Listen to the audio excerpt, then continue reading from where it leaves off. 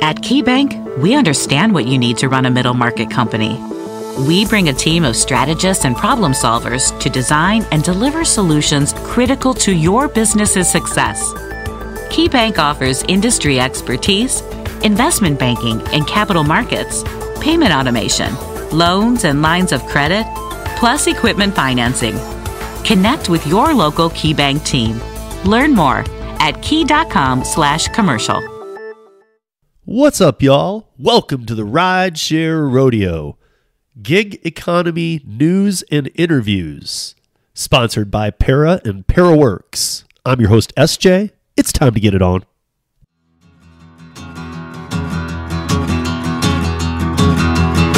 Well, blinding on a rain night. Steve Grade up ahead, slow me down, making no time.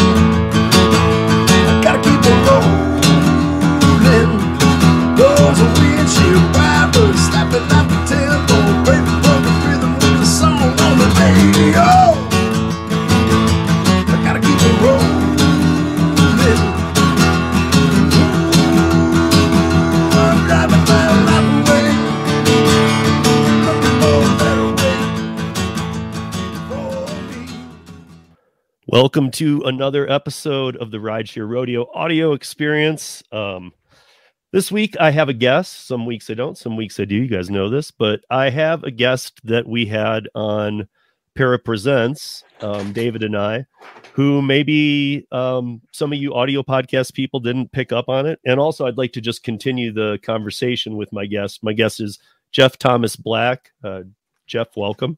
Thank you so much. Thank you so much. I'm glad to talk to you again. Yeah, and it's and it's and the timing couldn't be more perfect, you guys. I know I've been dropping a bunch of DoorDash stuff, and I know people, you know, like I'm not following trends that are going to make.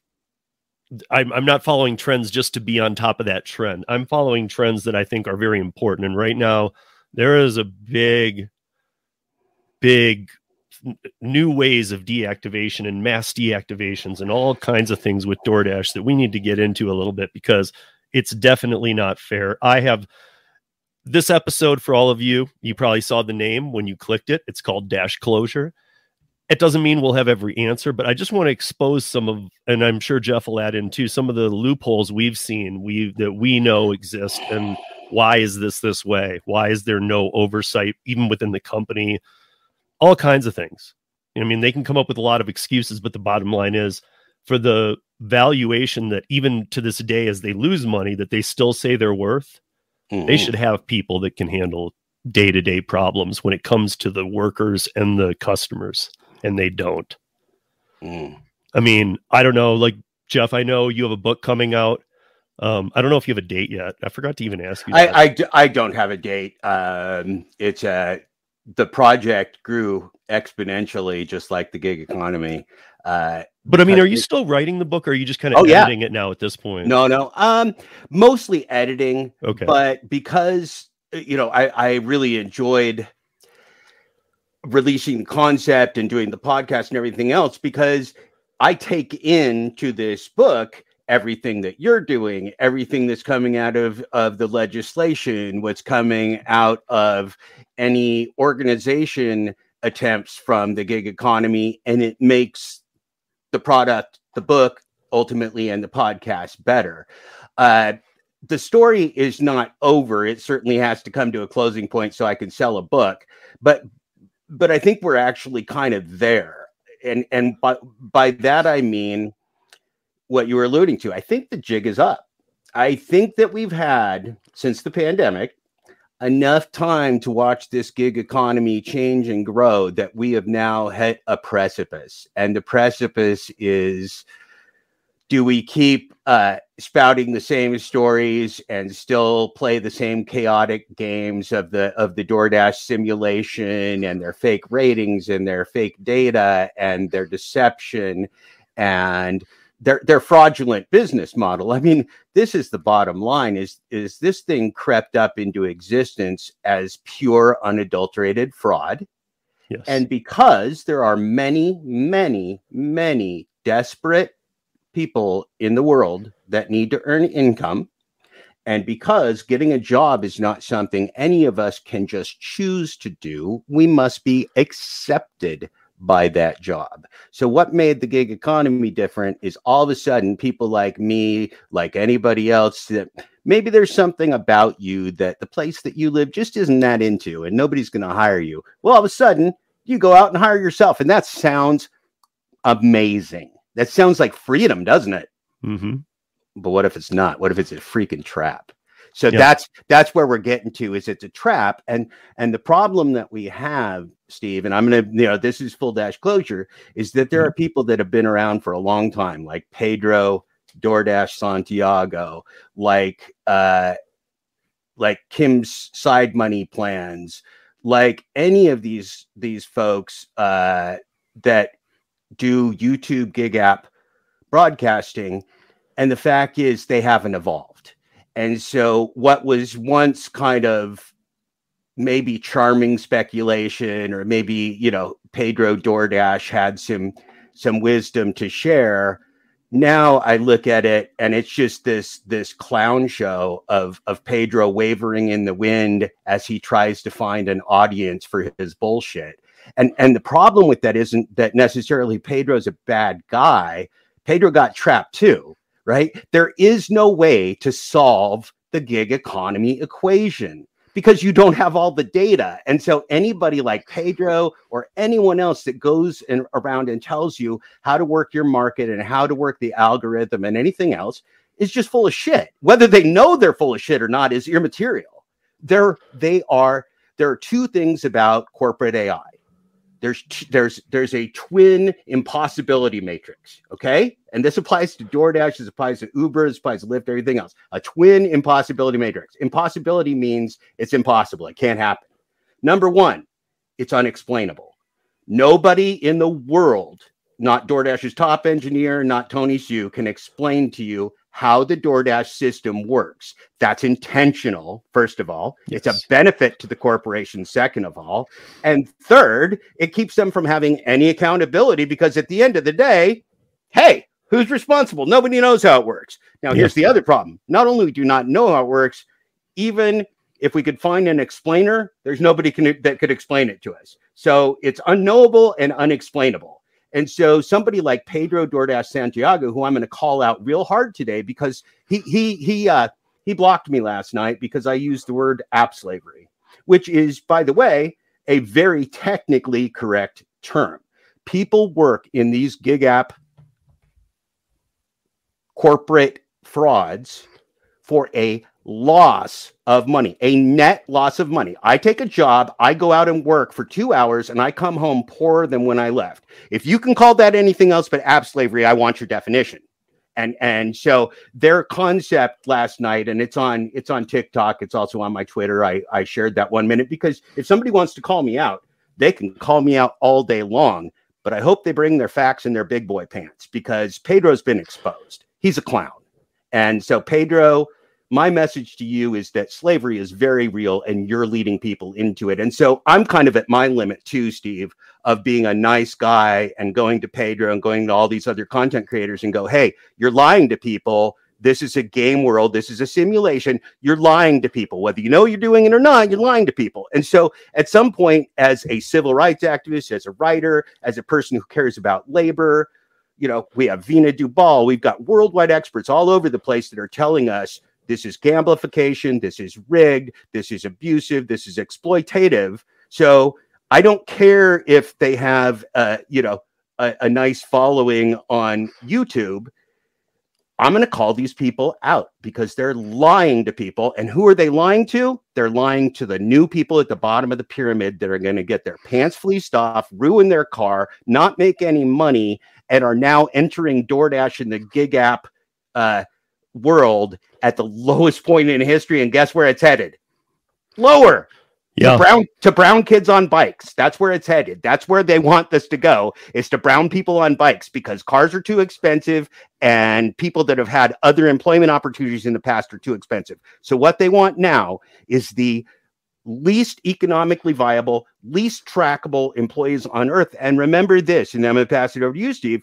There is an amount of money that must be earned from any one of these gig app companies before any information whatsoever must be sent to the IRS or any taxable authority. And I believe that's is it six hundred dollars. I apologize to the audience. I haven't looked Yeah, no, for a no. while. I believe it's six hundred Yeah, yeah. Now so, it is. so keep in mind, okay, if I'm averaging around, let's let's be very generous, Steve, for a newbie, fifteen dollars an hour. Okay, fifteen dollars an hour at, and this is gross income. This isn't my expenses or anything else, right? These are just. I'm going to say that I'm gross and net fifteen dollars an hour. So how many hours would that take for me to earn six hundred dollars? That would take fifteen times ten is one hundred and fifty. So that's four more times, right?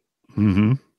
Okay. So that would take 40 hours of work for the average person. The average dasher never completes 40 hours. The average Uber driver never completes 40 hours. The average Lyft driver never completes 40 hours. The average Grubhub and Uber Eats driver never completes 40 hours. So there's five different companies I could do 39 hours each from. So that's one, two, three, four. I could work five weeks tax free without reporting it to the government, without employment statistics or anything else measuring me. Hey, I could even not be a US citizen. Who the hell's going to know? Right? Well, you I- could you could be anyway because on Uber Eats you can let other people use your account. Right. And so so there's nothing I actually I'm fine with people that are not US citizens working. Let me let me make sure I'm correct. What happens though is that when we employ people that don't have the right to work, they're further exploitable. This is just like this is just like migrant labor. So if we employ somebody that doesn't have the full authorization to work in the United States legally, what are they going to do? They're going to work illegally on gig apps, just like you or I would if we were trying to survive in a foreign country. Hey, I've worked illegal in a foreign country before. I won't tell you which one, so they don't come get me. But I've No, done but, it. But a lot Right. of but a lot of people do that. That's not, Right. for those But- that haven't traveled. I've traveled the globe extensively with a laser company, and not that I had to do it, but I've I've I've spent enough time in locations where I know this. This happens a lot, actually. Funny enough, do you know what happened to me when I worked illegally in Canada? The employer stole like two thousand dollars from me because I had no workers' rights, and they knew it.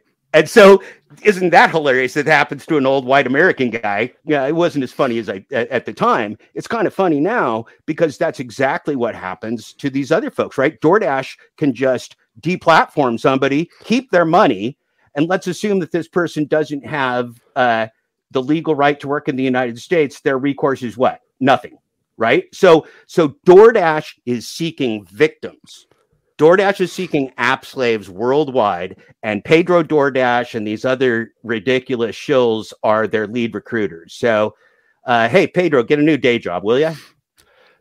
on the just I have to play devil's advocate for a second because because no because Pedro I can at least I can I can state this because I don't focus my content on DoorDash or this or that like like a lot of creators do. I'm all over the map. Right. We're covering politics, all kinds of things. Yep. But what I can say is that I've been doing gig work since 2014. Kim and Pedro both came in at the beginning of the pandemic. They did. So they came in at a time of like the gold rush Mm-hmm. for food delivery. Yep. And when you come in at that time, yeah, it was the pandemic, but you know, are they were you really putting the pieces together like, oh my gosh, the pandemic did this? Or are you just like, wow, this is really lucrative? And even if like you somewhat recognize it in the back of your head, you're still working going, man, I'm crushing it. And you're moving Right. along. And now it's starting to, I mean, look, we've been talking about this for a long time. Food delivery wasn't going to last forever. No, I mean, people got in habits over the pandemic, clearly. And those It's not- habits it's have not a taken a, while viable to bit- die off. It's not a viable business model in the in in a day-to-day economy. It wasn't a viable business model then either, but No. we had a unique event in the world that forced people to adopt habits and they are habits that they wouldn't otherwise have otherwise have. Now the gig economy is desperate to keep those habits alive. Why do they want DoorDash drivers to not receive tips? Why do they want DoorDash drivers to earn as little as possible? Because every penny a dasher earns decreases the demand for DoorDash services, right? Right. So so this is the thing about an independent contractor scenario, not that they're really independent in a gig app game world, but this is the thing about the about that scenario that is that is so very powerful right? Yeah, and I mean, again, though, with like, um, so I'll be on, I'll, I'll hit on Kim for a minute. Like Kim, Kim side money plans works harder than anybody I know. Yeah, absolutely. She really does. She goes in and puts I- 10 hours out there every day. She's I making money been- and she's going through the day. I have been, I have been uh, both a fan and a supporter of both of them, and so that's where it comes out. I mean, Pedro took out off after me and blocked me for using the term app slavery, which I believe is an academically and and philosophically and and correct terminology. That being what it is, And even if it's not, it's one that should be accepted for discussion. Sure. Well, we have I- wage slavery, I can- we have prison slavery, we have Yeah. debt slavery. I'm just have saying you don't need to agree with that to allow that to be discussed. Right, right. And I wasn't I was not trolling Pedro either. I said here's the problem. If if you're if when we have employees, right? Mm-hmm. Employees and corporations by nature, even if even if they want to minimize the cost of of labor, which most corporations or all corporations do, they have to move in the same direction. If a corporation moves without its employees, the corporation doesn't function anymore. Now, when you have a shell corporation that's just corporate AI and you have independent contractors, this corporation's only motive is that this goes the other way. This the corporation can only benefit as the total compensation for the delivery function decreases. And it's a delivery function. It's not their business. You're not their employee. They don't care about you. They don't even care if you're successful. They just want the share of the income and whatever else happens after that, it's all good. This is a global play for app slavery. They're in 27 countries. This is why they're willing to pay and lose money on every single order for Uber, for Lyft, for DoorDash, for Grubhub, for all these. They're money losers. Why would you lose money if you are establishing a monopoly on app slavery and the evil of corporate AI? And you want to talk about an existential threat? This is nasty, nasty stuff because people believe people believe that they have agency. People are listening to Pedro and other people that are telling them they can have a market strategy, they can do this, they can do that. Well, what happens? They ruin their car. They get in terrible car accidents. They find out Pedro and Kim were wrong, and that Pedro is in St. Louis and and uh, Peoria, Illinois, ain't St. Louis, right? Right. There, you, Mhm. we're all markets of one. AI is playing you like an individual chess match, and so Pedro's telling you, "Look, I can beat the chess computer in St. Louis. Who cares?" Okay, Yeah, you're the not playing the chess computer in St. Louis. You're I- playing the chess computer on your phone, and so again, Pedro and others maybe they whatever their intentions are, they're grossly misleading people. Yeah, well, I mean, one thing I can say for Pedro is I've heard him say many times lately, "Hey guys, this isn't going to be your full time gig. Start working but on an exit says- plan." So he, he, is says, saying "Hey, some, try it." but he's saying some things that are at least, I mean, But that's better resonate with you because he's not that wrong. But that's worse because what he's doing is he's telling the he's telling his audience which is mostly the neophytes and the new people that this is a valid way to spend a few weeks a few months or a few years. It's not. It's a damn trap. What if you wreck your car in the first two weeks because you're looking at the gig apps and you're distracted on the road? I did it. I did it. And you know what? You know how many accidents i had in my life till i started doordash? Zero. Zero and i was in my late 40s Well, that's know how really, many good. that's really good. had? I've had I've had a handful. You know how many accidents. accidents I had with DoorDash? I don't want to tell you how many accidents I had with DoorDash. See, I'm the opposite. I haven't had any on the apps. I don't work a lot at DoorDash, but I do Curri and the other Well- some of the other better ones that I consider better. But um, but I haven't had any, but I've had a bunch before. and and physical injuries. So let's let's Yeah. do the math. So I used to go out and I used to start dashing maybe at about 6 a.m. and dash till about 2:30 to 4 in the afternoon. So how many hours is it? It's, let's just call it nine hours on average. Okay. So so in that entire time, you get somewhere, you get out of your car, you're you're waiting or you're sitting there, you're driving. So then you get an order. You stop, You get out of your car, you pick up that order, you get back in your car, you drive somewhere, you get out of your car, you take to the doorstep, you get back in your car, you drive somewhere, you get another. So if I'm doing, let's say, 20 deliveries in that day, and I often did 21, 22, 23 deliveries in that day, I don't think you could do that now. I don't think there's the volume of, of business to support that.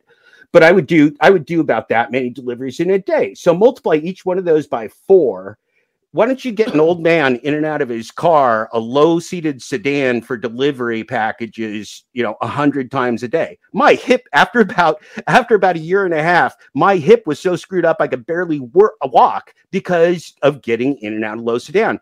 One out of every five Amazon delivery drivers working for the company, not as independent contractors, was injured on the job in 2021.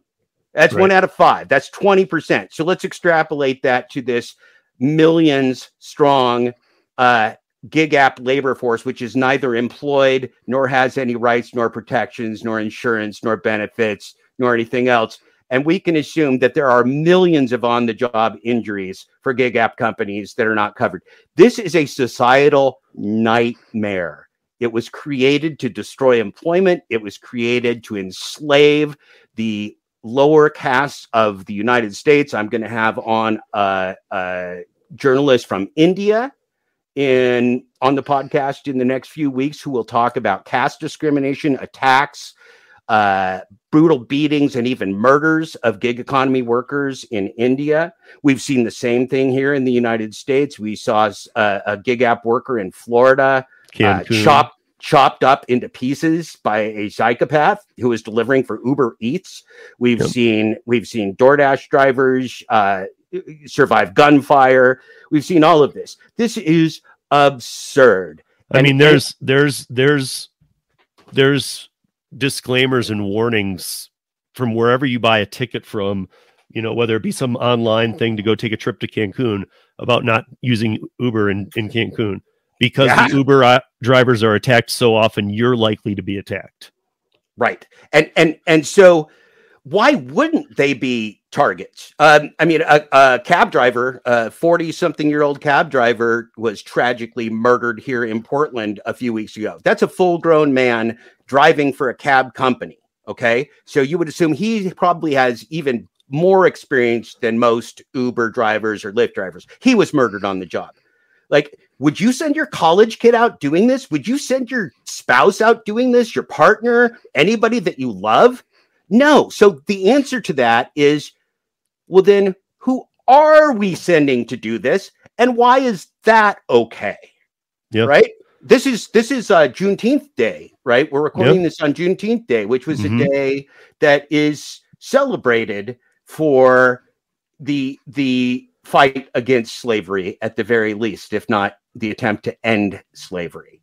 Yeah. Okay. And and so what we've allowed while this is happening is these this corporate gig economy cabal and make no mistake about it they collude all over the world against governments against legislators against nations against businesses you name it we've allowed this heinous corporatocracy that's funded by SoftBank and Saudi Arabian Saudi Arabian money and Chinese money. I mean, these Americans uh, that I see on these gig shows, and they're like, I don't want to be W two. I want to be independent. Okay, you're working for China and Saudi Arabia, friend. You're working for China, SoftBank, and Saudi Arabia and Tony Xu. How independent are you? Right. So I hope people are seeing right now that this is an atrocity, a human atrocity that is being foisted upon people. And so we got to stop, right? Now, are there people like you and me that may do this between now and when the gig economy implodes, which it will because it's fraud? Yeah, there, there are. Okay. And so there's a cap. I'm not going to hold anything against you if you personally go out and figure out that you can make a few bucks and feed your family in some way. But I'm here to tell you, unlike Pedro or unlike any of these other people, you're risking too much. You're not going to make enough money. You're in terrible danger. You can be trapped, and it is a net loss that you're probably going to face. Now, some people gamble and win, right? That's the thing about gamification. It wouldn't be gamification if everybody lost. There's got to be a few winners. And so you can ask yourself, why is Pedro a winner? Well, just DoorDash watch the number one broadcaster and throw him some bones for advertising? You think they wouldn't? Come on. I mean, this is the thing. We believe that they have programs. They give us no metrics. Like you're, going to be a super jumper. How high do you have to jump? You you jump and you're a super jumper. Okay, so is that one inch or six inches? Well, we're not going to tell you that, right? So so I mean, again, they're not giving you enough data to even make a basic economic viable decision on any single order. That's the level of deception. They're deceiving you to the point that anything that you do is a flat out guess. That's it. That's the best you got. And if you're if you think it's anything else, you're lying to yourself because they're giving you some number of seconds to solve an equation without enough data to say solve the equation. So right. yeah. And as we as we discussed before, in, in rideshare, you have what five seconds to decide while driving. On the food deli- on the food delivery side, you have a minute. Right, five seconds or it a should, minute to crash anything, your car. If anything, you should have a minute on both at least. But if anything, it should be reversed. I mean, they could five me, seconds on the food with all the offers they send you, but you should have a minute on the ride shares. You should not have five seconds. You're going to crash every time. Well, if I and I mean, it, it, I could give you 24 hours, and if I give you an unsolvable equation, you're still going to have an unsolved right. equation at the end of the day. I mean, which is why, which is why I really like the Colorado legislation. Show complete transparency, and hey, listen, if it's if it's a nickel to do every trip, even even the people who are really trying and thinking I'll make it work will understand this doesn't work. The the transparency would end the gig economy overnight if it, if there was transparency, they would never get someone to pick up the passenger at X and take them to Y because the person doesn't want to take to go to Y. So they deceive the driver and say, just pick up, and then we're going to send you someplace. And the driver picks it up and they go, God damn it, lost again. Got to go, got to head across the bridge, and now I'm screwed.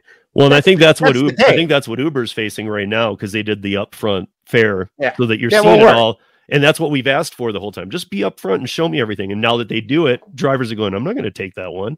So right. what we've been asking for now, nobody's taking the orders. Right. It's a broken, it's not a real business model. I mean, a business model built upon fraud can't be solved. Now, the question is, and this is where our friend uh, David from Para, uh, who we had a podcast with a few mm-hmm. weeks ago, comes in.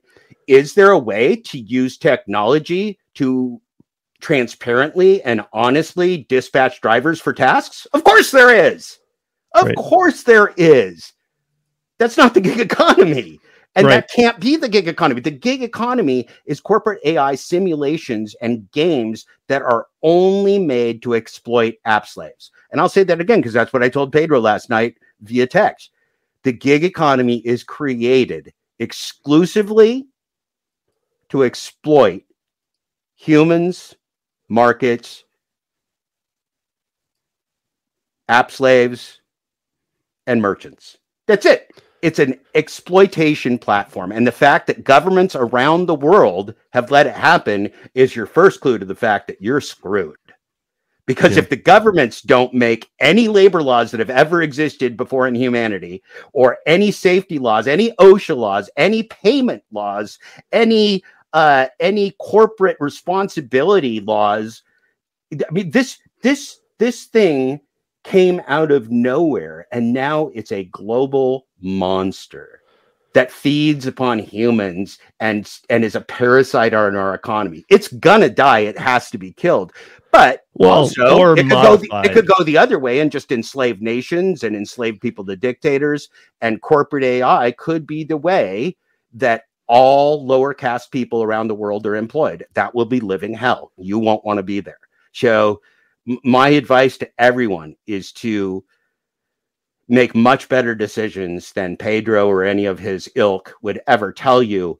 And don't even dip your toe into the trap because the trap might kill you or eat you alive before you get out. Look, like any gambling, the winners are going to come out of the casino and tell you it was a great freaking day and I'm taking money home. Now, the 75% of the losers that come out of the casino are going to be looking down at the floor. They're going to get in their car, they're going to go home, and they're going to tell their wife they broke even. Okay that's just that is the way humanity works with gambling is the way humanity works with gig apps we know these gig app creators are lying about the incomes that they make and the programs and their stars and all this bullshit how do we know because they don't exist none of these things have any metrics None of these things have boundaries. None of these things have data. So it's all just imagination. It's all an illusion. Remember Doug Henning? It's an illusion. Mhm. The gig economy is an illusion. It's an illusion of work. It's an illusion of a job. It's an illusion of financial gain. It's Yeah. an illusion of freedom, but it's none of those things. So I think it's a good shift now into the AI portion because I'm we're seeing mass deactivations like we've never seen on DoorDash. Yeah. Okay? Like just I'm gonna pick on DoorDash specifically right now because the other apps, yeah, and they all gamify, they all have their ways, but like Uber's kind of been Uber isn't like shifting gears and doing a 180 right now. They're just going as business as usual. You just haven't noticed it.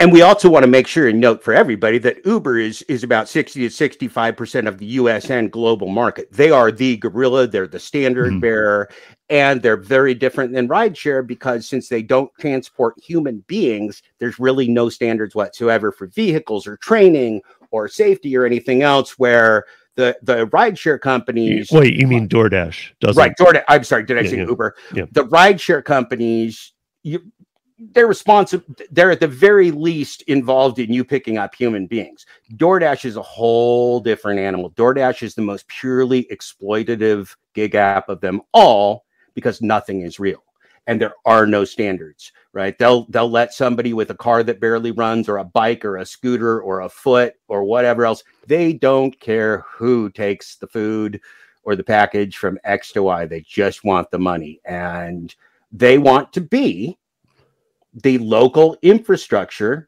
for 27 nations. They want to be the postal service, they want to be FedEx, they want to be UPS, and they want to be your food delivery. If that's what you want, and that's the future that you want of a whole bunch of DoorDash ants driving around the world working for the upper class, whoa, what an ugly future, man. So this is where some some things become a little uh wacky though because look when everything started you could get a like in the beginning of the pandemic you could get a service agent on the phone Right. maybe third- maybe third- even third potentially one- party, third party. may- they no, don't, I'm they don't work for anybody. right but i was saying in the beginning maybe even somebody here in the united states Sure. however it got outsourced and now it's to a point where i don't even know that there are any humans involved in the equation Mm.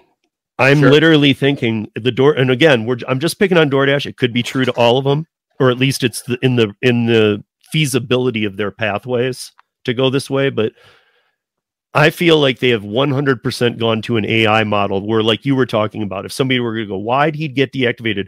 They can go, I don't know. AI did it. Of course, AI did it. There's no Right, human- right. But There's we, no we just watching trained AI to look for certain things. I don't know why they deactivated it. We don't Right? know. I- these these are uh, Sergio Avedian of of rideshare guy Yes. was talking about literally the billions of deliveries with a B. Right? There's no humans watching the details of billions of deliveries. Corporate No. AI is terminating people. Now, why is corporate AI configured by human beings to terminate people? That's the question because it's not doing it on its own, right? There are parameters in corporate AI, unlike their fake programs. In corporate AI, there are real parameters. Now, let me tell you something. The sad part is let's let's also differentiate employment from gig labor.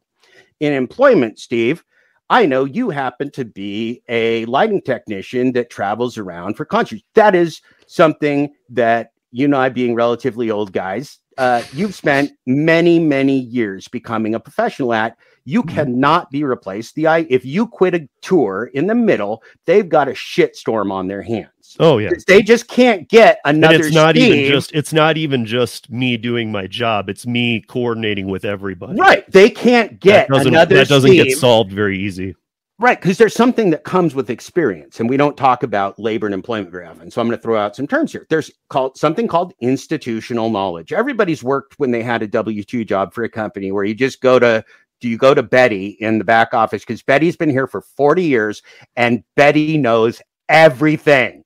Betty may be the administrative assistant for the president, but Betty knows what the marketing uh, program was in 1993, and she'll tell you. Right. So there's institutional knowledge that is valuable beyond measure. The that institutional knowledge, that humanity, is what makes you, Steve, a valuable person.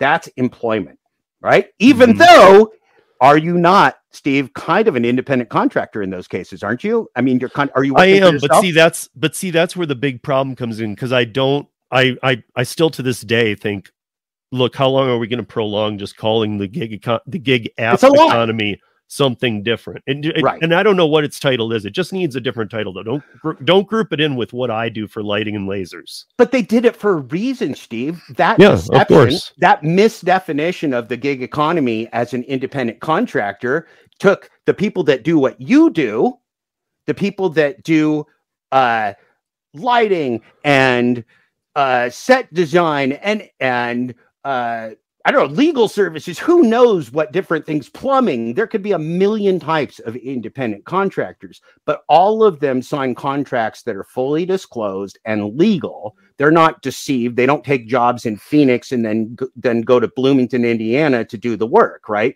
They everything is on the table when you do it. Right? They don't they don't give you a job to go on a lighting tour, Steve, and then then give you a different job every time you hit a state, right? You agreed to a contract. You agree you made Right, an right. agreement that was fully disclosed to you. And if they change the agreement, you're going to go, whoa, whoa, whoa, hold on. Here's the agreement. Let's talk about the gig economy. In the gig economy, somebody like me, 5,521 deliveries never to change. Okay. I'm never going to do another DoorDash delivery, but 5,521 isn't, isn't, isn't a, a small number. That's, that's a lot of work. So my institutional knowledge to DoorDash is a full negative, 100% negative. I expect too much money. I've been doing it too long. I know their tricks. I know their scams. I know their programs don't work. And I'm never, ever, ever even going to accept a single order that would lose me money. I am the worst kind of dasher that could possibly exist in the gig economy, right? As are you, as is Pedro DoorDash and everybody else, except Pedro's a shill, so he's all right. So Well, I don't, So- I don't. I also don't count on the food delivery apps as much, and not to say that that ends the problem. But I actually work apps where I'm pulling in some decent money. I try and do the last mile stuff. right as as i said like so so para app is proof could you use technology to honestly disclose the information to have an independent contract with somebody that drives delivery? Absolutely you could right? Yeah. but but but how are we what, what were the what were the keywords and tricks and and riddles and illusions i just threw into that statement? There were none. I'm telling you right that we're going to make an honest agreement and you're going to have honest uh, an honest task to do. So in the gig economy everyone with experience even if you've been doing this let's say three six months right? You get to a certain point in doordash and you figure out the scam you become less and less valuable to doordash every single day. And so this constant churn of new people coming in desperate with lower and lower expectations brown kids on bikes people on scooters people on foot people in india people in third in other countries that are not economically developed this is all a downward spiral that is the intention of the gig economy. So it's it's designed to burn through human fuel. It's not going to keep you it's going to use you and then it's going to spit you out okay? And so so humans have to be smart enough to know that for the rest of their lives that is a tool of enslavement and danger. And if you don't know it you better know it.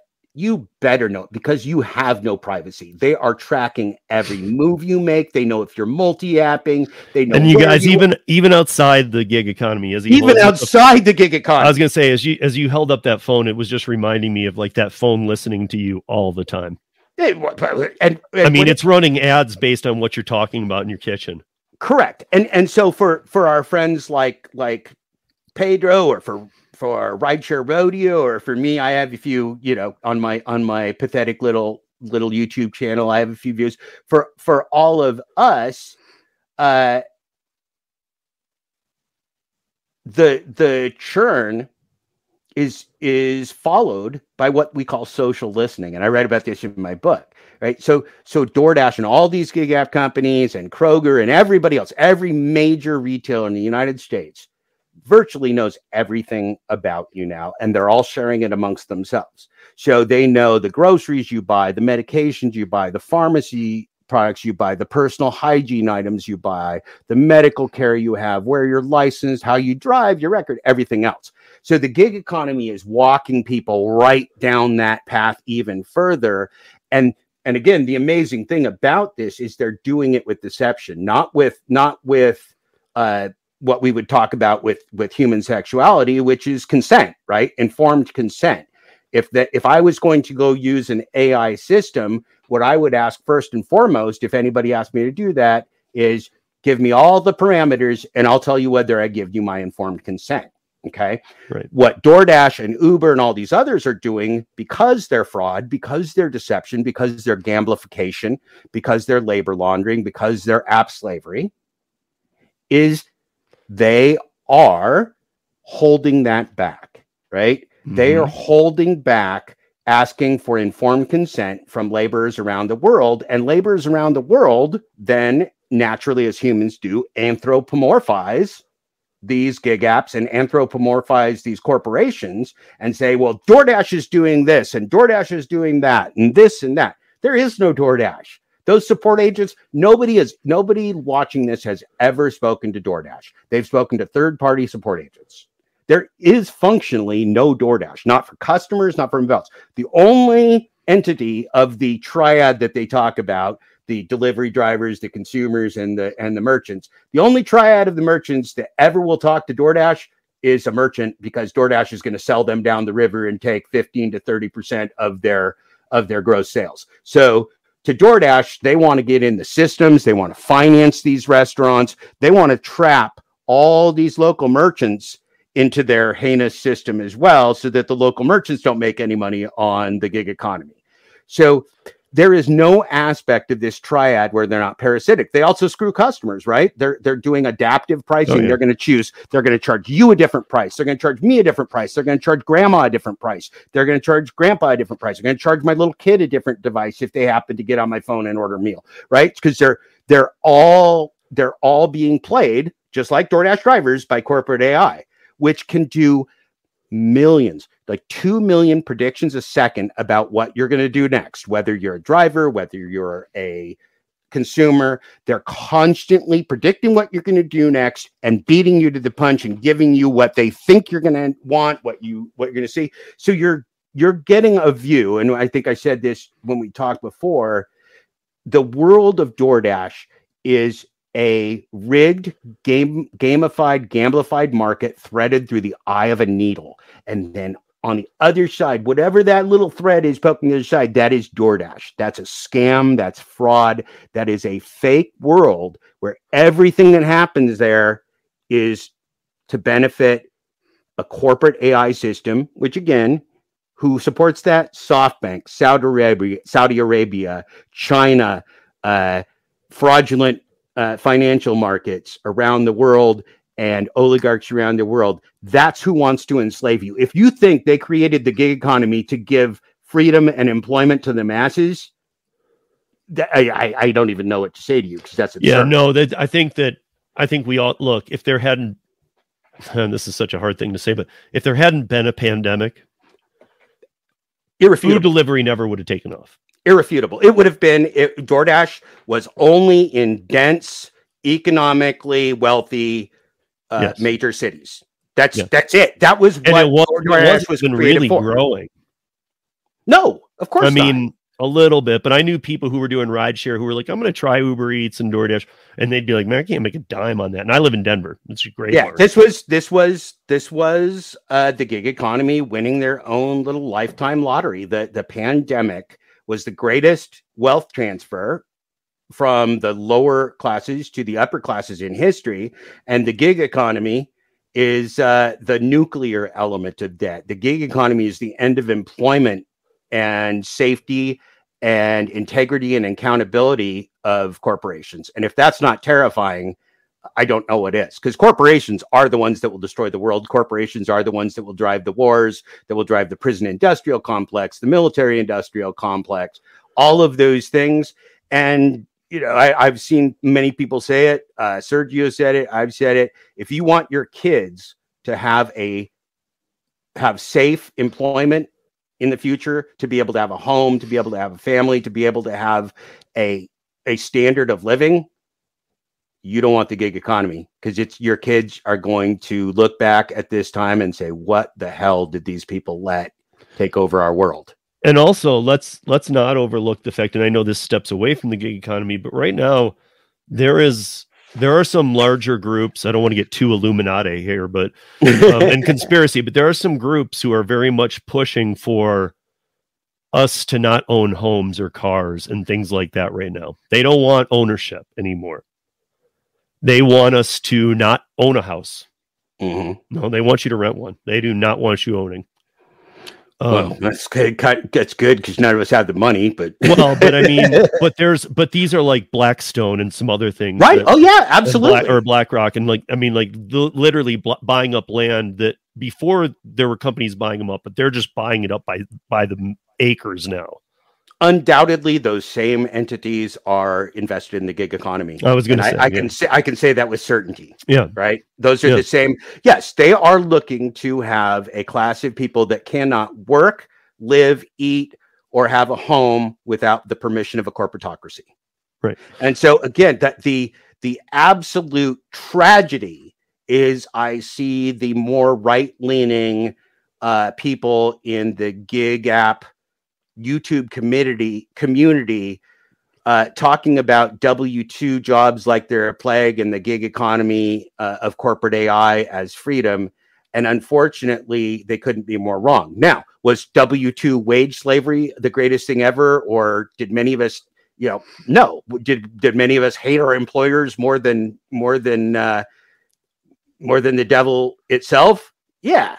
But that doesn't mean that the gig economy is the answer. The gig economy is just another step down the ladder. And this is what happens is that people looking for the lesser evil, as usual, yeah, what's the lesser evil than W2? Well, gig work sounds lesser evil than the W2. Mm. It's not lesser evil, it's just evil. okay? There is no Yeah. lesser evil in gig work. And so so they say don't make us do W. Nobody's going to make you do anything. You could be a valid real independent contractor, but it wouldn't be with the gig economy because the gig economy doesn't have independent contractors. It has app slaves that are being deceived. Right. Look, you I think in a, saying? I, I think in a perfect world, and I'm or not even a perfect world, in a semi-perfect world, I think that they would. I think this has gotten very because what I'm seeing now, some of these changes and what we're talking about with DoorDash mass deactivations is full timers like Nova Dasher. Mhm. Uh, Marco's a friend of mine. 21,000 plus dashes. He gets deactivated with a 4.99 rating, only one contract violation in the last 100. He had this kind of stats that you'd look for in a but he's not but he's not profitable to DoorDash. And Right. DoorDash DoorDash has social listening that accumulates everything that happens on the internet and gives them a daily report with thumbs up, thumbs downs, comments, trends, keywords, everything else. DoorDash is ultra aware. This is what their marketing department does, right? This, their marketing department analyzes data.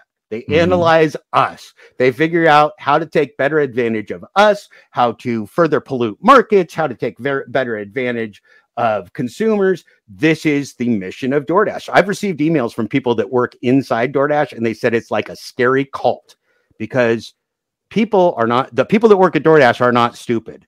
They know they're doing pure evil. They know it's fraud, which is why they never talk. When has DoorDash ever addressed any of these allegations? Ever publicly? Yeah, and well, they won't Never. either. Even if won't, you get, because even if you, even if you get the right people on an interview or something, you're they're not going to answer your question. No, question. because it's going to look, it's going to look like a Senate hearing.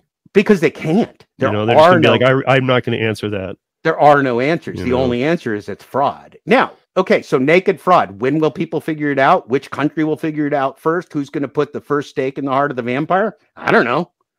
I mean, but but but uh, most often scams can't last forever, right? And again, these every one of these companies is subsidizing with investor money every delivery and ride that they do.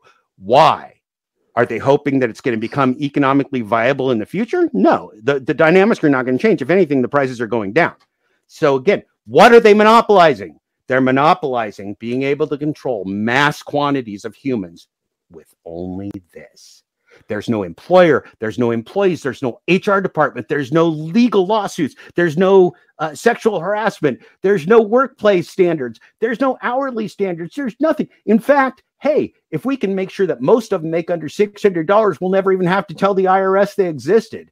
This is why I called it labor laundering because it's the new version of money laundering right? Money laundering is using money in a way to obscure its sources, uh, uh, uh, to obscure its its sources and its destinations, right? Labor laundering is the same thing. This is a global labor laundering scam. Every single one of these companies is involved in a scam to use human labor without disclosing how it's really used, what it's really used for, and to what end. It's called labor laundering. I, I made it up. I, I am very proud of that. It's a great term, and it mm-hmm. will stick. Just like app slave, just like app colonization. What is app colonization? App colonization is international companies going into India and getting people to work for less than eight hours a day. That's called app colonization. That is a whole bunch of wealthy corporations. exploiting people in India. Why can they do that? Because there is a lower caste in India, and India is cool as a nation and a people with those people being exploited. That's how it works. America is cool with gig app workers being exploited. Watch some videos. Well, I, I I can I can say this. I got to be very careful what I say here because this is very fresh. But there is a new, there's a three letter agency that nobody probably will think of which one it is, and I'm not going to say it. That is newly, as of last week, looking into some things that I had no idea. Um, just found out Mm-hmm. And the way I found out was very, very strange. Um, but I found out from, I mean, like from a factual source too, is yeah, they are very look at there. There are some people that have had it. Yeah, so, so on both sides of the aisle. Here's the thing: like, I, I, not, I'm not, I'm not going to, uh, to, to pretend this even matters, but I've spent many years uh, researching this, and I have a master's in business administration from one of the finest business schools on the planet, Duke University. And I've been in the corporate world and in finance and economics and, and marketing for, let's see, uh, 35 years. So I'm going to tell you when I use the term naked fraud, I would not use that term if it wasn't true because I would assume somebody would sue my pants off, right? I'm a writer, I'm a public, yeah. I do stuff, right? You don't you, you don't call somebody you don't call somebody's business naked fraud if you can't back it up. Yeah, you don't you don't call something proof, app yeah. slavery. You don't call any of these things. You can back it up. I mean, people ask me the start because I was the first person to really come out and talk about these things. I'm still one of the only people that talks about these things. Aren't you afraid they're going to come after you? And I say, no, I wish, because yeah. every single thing I've ever written or said about DoorDash, I can prove. Right, they'd probably I, rather just sweep you under the rug. Oh God, yeah, they're not, gonna, kinda, they're not going to be able to do that. I know, yeah, but you know they, what I mean. They absolutely. It's better for oh, them just to. I mean, it's better. It's better for them I'm not saying it's a good idea, but it's better no. for them just to pretend you don't exist. Hey, I'm connected. I'm connected to about 60 uh, DoorDash executives on LinkedIn as a first person connection. So, uh, and they they read my they read my my stuff. So DoorDash is plenty aware of me, and I've sent personal messages and exchanged personal messages with DoorDash executives uh, at at very high levels. So. Um, I'm going to tell you, like, so there's no doubt this is crime, right? This is an international crime. This is fraud. This is this is the, money laundering and labor laundering are also crimes. Um, so so, but in order for a crime to be prosecuted, it has to be identified, it has to be investigated, and it has to be prosecuted. Right? Somebody right. has to actually care to prosecute it. So far, the problem is that the constituency of people that do gig apps are in general lower income, lower societal status, lower caste. They are uh, DoorDash and the gig app economy has uh, has very predatorily gone after young people, women, and people of color because they know that those typically exploited workforces are ripe for further exploitation and they know they can get away with it. So, so yeah, I'm not surprised at all, Steve, and and I look forward to that day. I've been telling people, and I've written in my book, this is a scam that's going to end. It's a matter of when, right? It, it, because you know, no matter what kind of fraud you want to identify it as, uh, even if you just go to basic contracts, it's deceptive. It's dishonest. It's deceptive. There is no transparency. And how many times have they been caught in lies and fraud and total chaos? It's it's been nonstop, right? That's what the industry is. That's how they survive. Is the chaos. That's why they people ask why do they change the apps? Why do they put this new DoorDash uh, rating system in in one place and then there's another one in another place and then they're testing another thing on Kim's side money plans and then Pedro gets another thing and then they're testing another thing in your market do you think those that's a coincidence that everybody always has different programs? No, of course not. No, I, and what? in fact, I can give you an example on something. Is that Instacart? Like, okay, the you know Denver because sure. I know that you've right. been in Colorado. Yeah, so used to live Denver. used to live there. Hi, Denver. Love you. Great, Love great Colorado. Market, great gig market. Great if everything. You're gonna, if you're going to be doing gig city. work, right? If you're going to be doing gig work, though, it is a great gig market. Yeah. However, lot- Instacart has never ever been good here, even when it was popping everywhere. And I was I'm very involved with Joel Shapiro and Dumpling, which is a complete that's a I got to tell you guys if you're not familiar with Dumpling, this is not an app that feeds you clients. You have to find your own. This is a true run your own business app. That's what independent contractors do though. They find their own clients. Did you know that? Yeah. And that's oh, the okay. thing. That's the cool. thing. And then he created a marketplace thing where they can find you. You have a profile page. It is literally run your own business. You set, you set yeah. your own prices. You do everything. Well, isn't it so, nice? Isn't it nice to see the flip side of what a legitimate application could be? Yeah, and I have I am on Dumpling. I have five I have five clients only. Nice but... job, nice job, Dumpling. I'll check you out. Yeah, I mean, you should you should look into them. It's dumpling.us. Everybody, you probably heard me talk about it before, but if you haven't, check it out. Look, um, we we are all into lifting people up. We are all into freedom. We are all into having the ability to support our families and everything else. So if we're if we're raining on the parade of the gig apps, it's not because we don't want people to be successful or have income. It's because those of us that have been around for a while truly see what's happening. And again you know, as we're shedding people like Nova Dasher, who's got thousands of dashes, as they shed people like me, who has thousands, as they shed others, remember, if that's what a corporation wants, is to shed the people that have done the most work and know the most, there's only one answer, right? What are they what are they hiding? They're hiding the fact that the scam only works on new people. That's why this no trip, no tip, no tip, no trip bullshit and this this tipping and this hidden tips and this all you know pedro one of the biggest things that i've taken uh that that kind of switched me off of his train was that he takes great pride in denigrating people for whether for for how they uh, tip or not in the platform. And he calls them names and puts them down and calls them clowns. And and he raises the hackles in this violent angry uh attitude that is intended by the gig economy companies to keep workers, to keep gig app laborers and consumers at each other's throats so they never look at DoorDash. So so he buys into this crap and fuels it.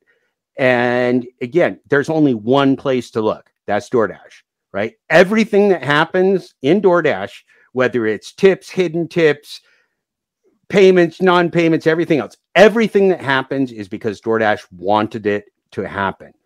Right. So so his criticism is 100% misplaced upon consumers who are doing what consumers do and what consumers have always done.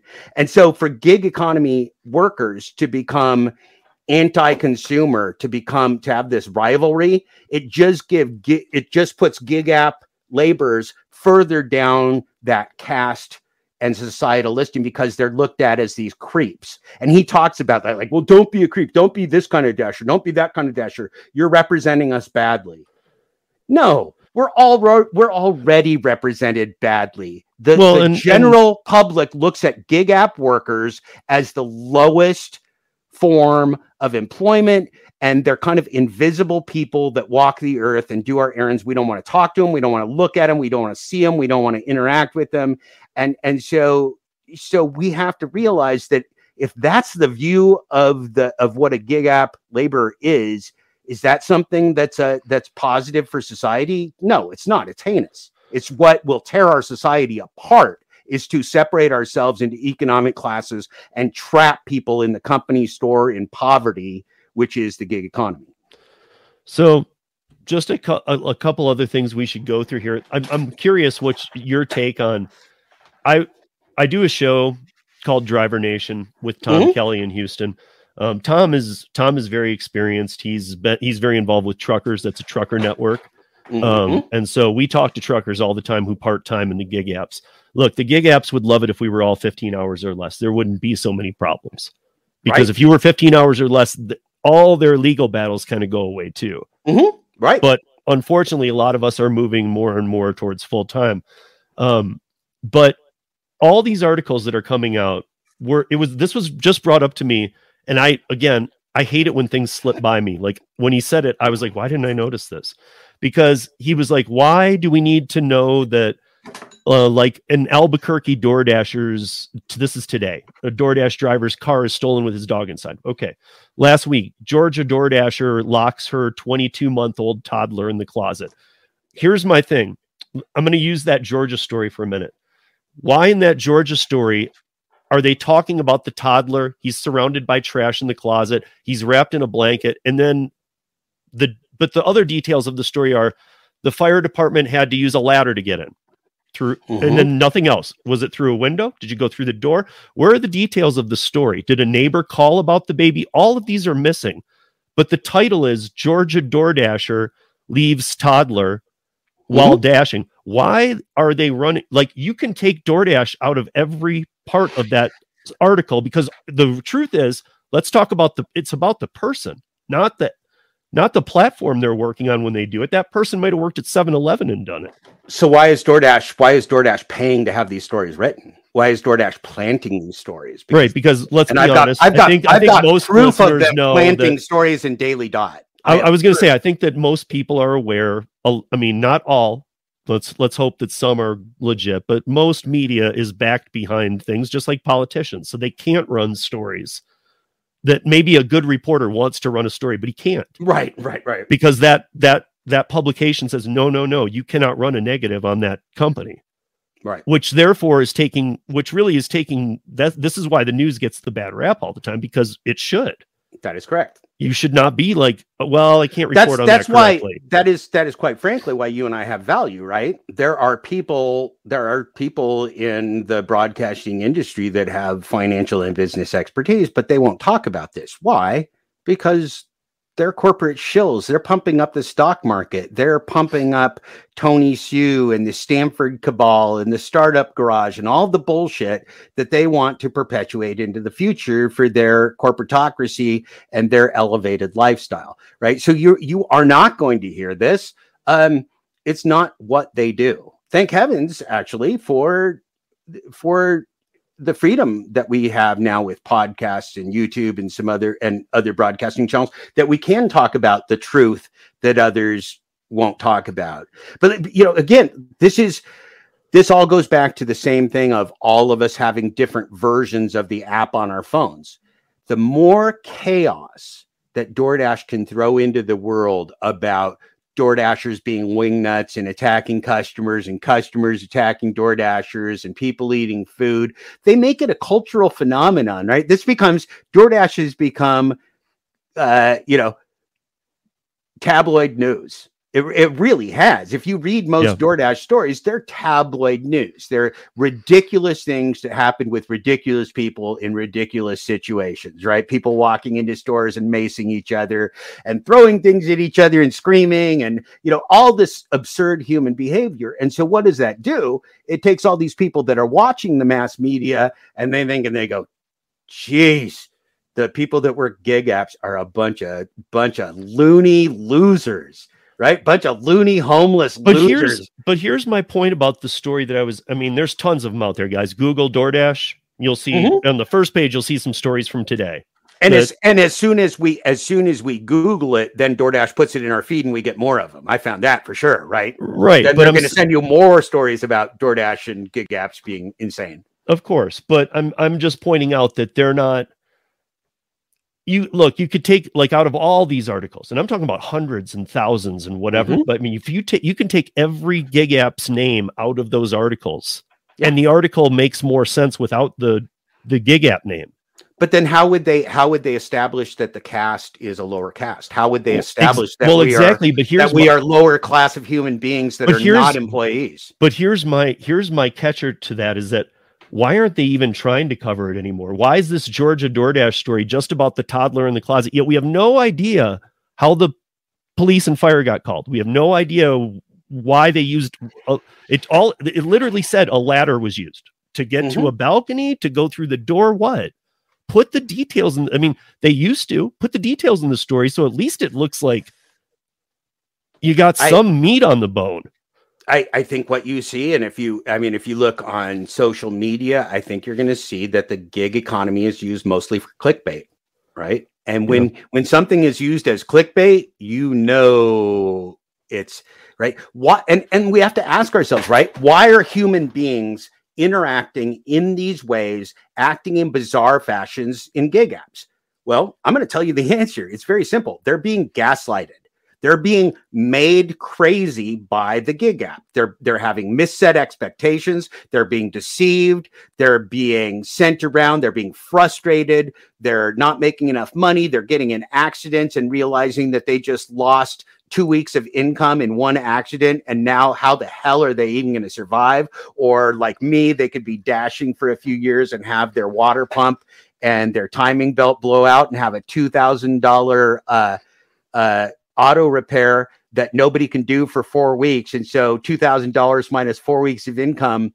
Um, you want to be in crisis? You'll be in crisis like, hey, five minutes. You just went from living a good, having, having uh, money to spend and, and uh, being able to survive to a shitstorm of both uh, no income and a $2,000 bill and nobody to do the work. That's the gig economy. That's the trap, right? Because any of us is a second away from an accident, even if it's not at work, right? What if Right, you no, no, depend no, upon yeah. gig apps and you blow your knee out skiing? Well, what you I know? mean, this this I is mean- why when I'm doing when I do last mile delivery apps and people are like, "You're killing your car putting that many miles on it for courier." I'm like, "Bro, I'm like, my car is designed to do the work. yeah, I would rather body. drive my car into the ground and do highway miles and deliver product than be delivering people or or food locally because I mean we know the stat this is true any insurance company will tell you this that driving around your neighborhood is way more dangerous than being on the highway It's one of the mo- top 10 most dangerous jobs in the United States, man. It's Yeah. more dangerous than being a cop. Way more dangerous. I'm just saying even if you're not working the gig up when you're driving Yeah. it's just you're in danger being on the streets in Yep. especially locally though like when you're on your local streets as opposed to highway that's that's why me uh, that's why i who considered myself a very competent driver once i started gig apping three and a half years ago i screwed up my car royally i think i did about six thousand dollars damage to my car over the time i dashed yeah so I, I have two more. I have two more things I have to hit on you with you. I Do it. need to. I need to present this to you because I want to know if you've even ever heard of this. This is new to me. I hate Mm-hmm. this. I can't believe this is a thing. And yet I know I I've verified this. I know the person that it happened to very well. Um, and they've actually. I shouldn't, I didn't even need to ask them because I know them well. But they offered to show me every piece of this, and they have. Um, they were deactivated by DoorDash. However, when they called, just like everybody gets deactivated, you try and call. Sometimes nothing. Sometimes somebody gets lucky. You get somebody, they put you back. Who knows? It's a Mhm. it's a crapshoot on what'll happen. But this was very odd. They told the person that they had uh whatever you want to call it, a contract violation, a strike or whatever. And obviously they don't tell you what that is. That happened. You had one, and uh yeah, you are deactivated. However, they called it something and it wasn't a soft deactivation but it was something along those lines where they can call in 90 days and get reactivated have you ever heard of this no but it makes sense. No but it, it absolutely makes sense uh because i mean to me that you're st- you're literally you just said employee. Right.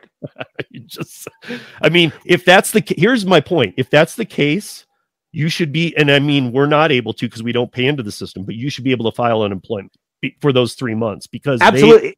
Because they're telling you you can come back in three months. Okay, really? But then cool, I'll I'll get unemployment. You can't get unemployment. Well, and and then you can't deactivate me temporarily. Okay, then we'll deactivate you permanently. So I mean, it's not there's no win, but I'm just I've never heard of them. Cr- this is a line I've never even thought they'd cross. This is weird. so so there's a couple things. So remember that during the during the pandemic, um, there was uh, the situation where they uh,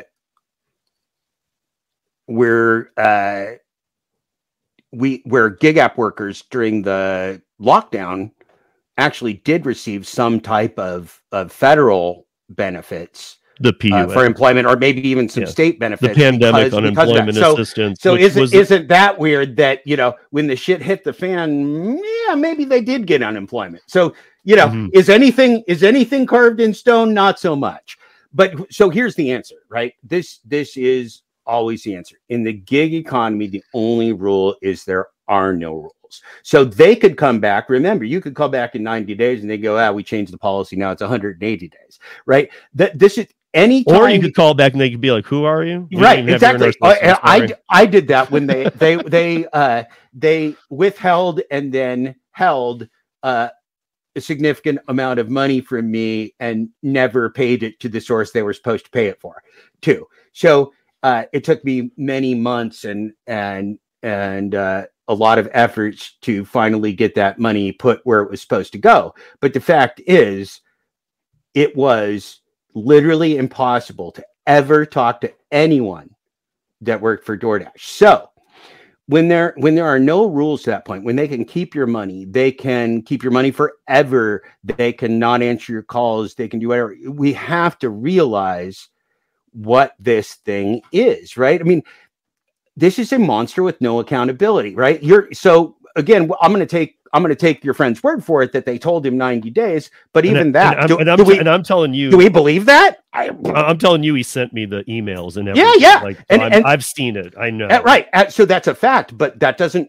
That's not a. Con- that's not contractually binding that they have Right, to give right. him employment in ninety days.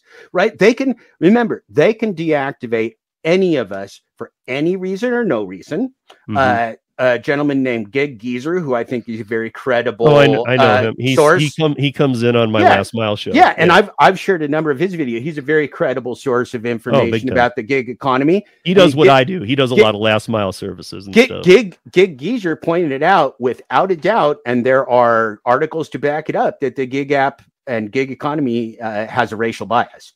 That more people of color uh, are uh, are deplatformed and and terminated from gig apps than other people and that there are biases built into this AI system as we know. So this is a racist system as well uh, which we should note since it's Juneteenth, uh, Mhm. June 19th, 2023, that the gig economy is racist, right? I mean, you so might as how well many, add in you, you might as well add in sexist too. it's sex. Yes, it's it's sex. It is sexist too. So so how many how many heinous crimes against humanity are we going to sit by and watch happen under the name of the gig economy, under the false label of independent contractor? Because independent contractor definition already existed. We know what it is. We know what it was. The gig economy ain't it, right? We can't allow them to redefine terms that fit their own purposes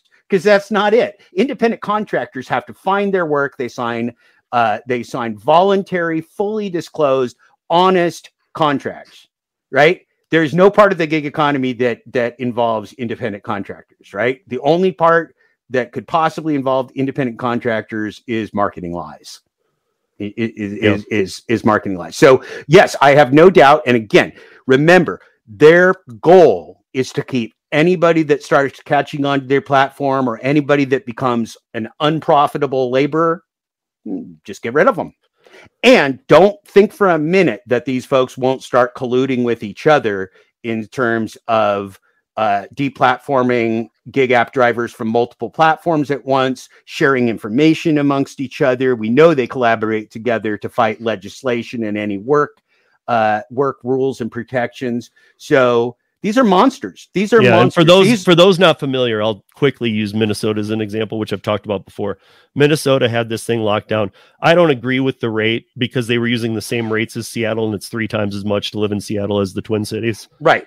So no offense there, but I just think they should have kind of picked a better number. But nonetheless, House passed it, Senate passed it, went back to the House. This was all this going back and forth, and their their governor has never, ever, ever had to veto a bill. Right. He's always been on the side of it. Yet when it passed the House, Senate, House, and went to him, they were like, "When?" And he spent his first veto ever Of course he did. You know why he did? Because, Because the wealthiest people in the world are behind app slavery. Though, let me say that again. But this The wealthiest should have been a- people this in the have been a- world. this should have been a state that went with it, though. This is kind of proof No. that if they're not gonna, hey, it's like Colorado SB twenty three zero oh nine eight getting shot down. Right. So let That's this let this let this be your lesson that the gig economy will comply with human decency and human rights never. Never. Yeah. They will buy off politicians. Well, and they will like get we the first vetoes from anybody that ever gets. They remember. Okay, so this is a gravy train, and if the politicians kill the gravy train, then the politicians can't be successful. So, are they going to sell out farm workers and gig app laborers? Yeah. Right. Gig app laborers are just the new migrant laborers of the United States. And don't think there won't be gig apps for migrant laborers either, because that's where you're going next when you can't drive your car anymore. They'll have you gig apping in a field. So so let's just let's just make sure that we understand that what happened in Minnesota is the truth, which is mm-hmm. people in power want you to be exploited. It's up to you. And that's the thing. This is individual action and accountability within a corporate AI system. And the only way you can save yourself is not to play.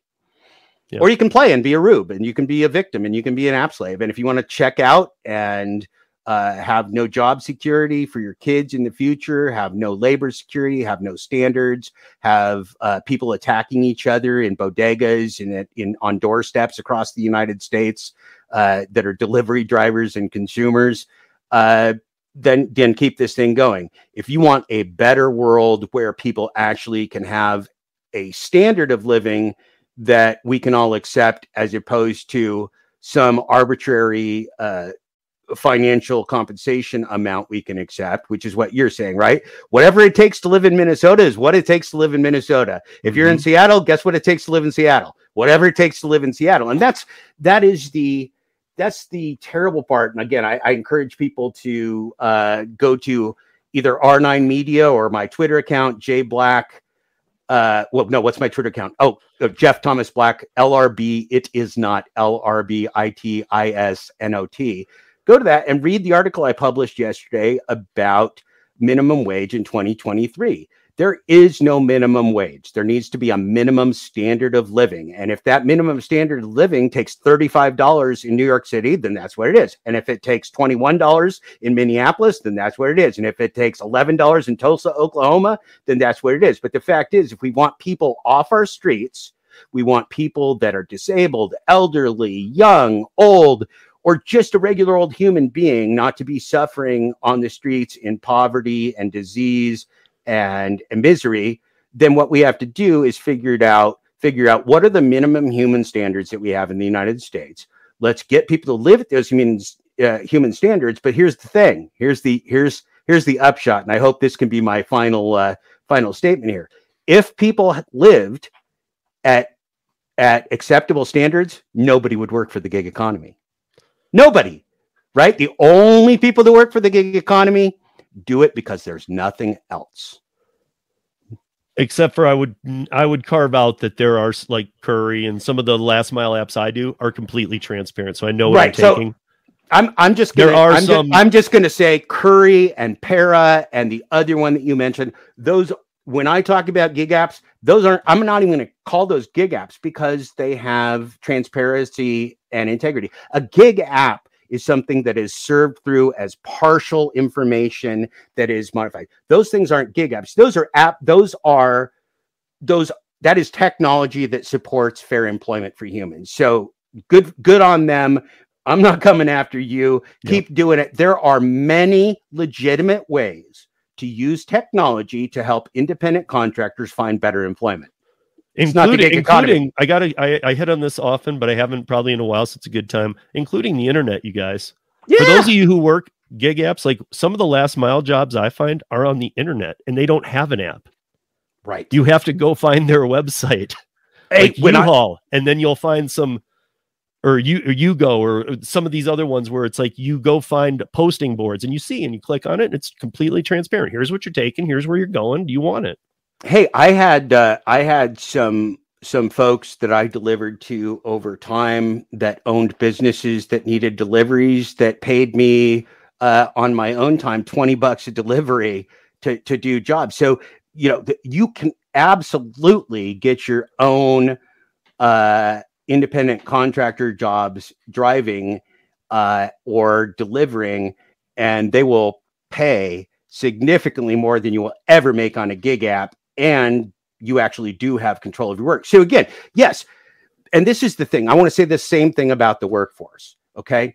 The low wage workforce in the United States and around the world whether it's whether it's migrant labor, whether it's manual labor, whether it's factory labor, that workforce has been around forever. That workforce has always worked hard. That all workforce has always worked with integrity. That workforce has always worked with pride. Okay. So that workforce is going to be, is here now. It's always been here and it's going to be here in the future. What the gig economy is doing is using economic insecurity against that workforce, using corporate AI against that workforce as a Mhm. weapon, as as a biological and nuclear weapon against humanity. That's what the gig economy is. So, yes to the workers, yes to technology, yes to independent contractors, yes to all of it.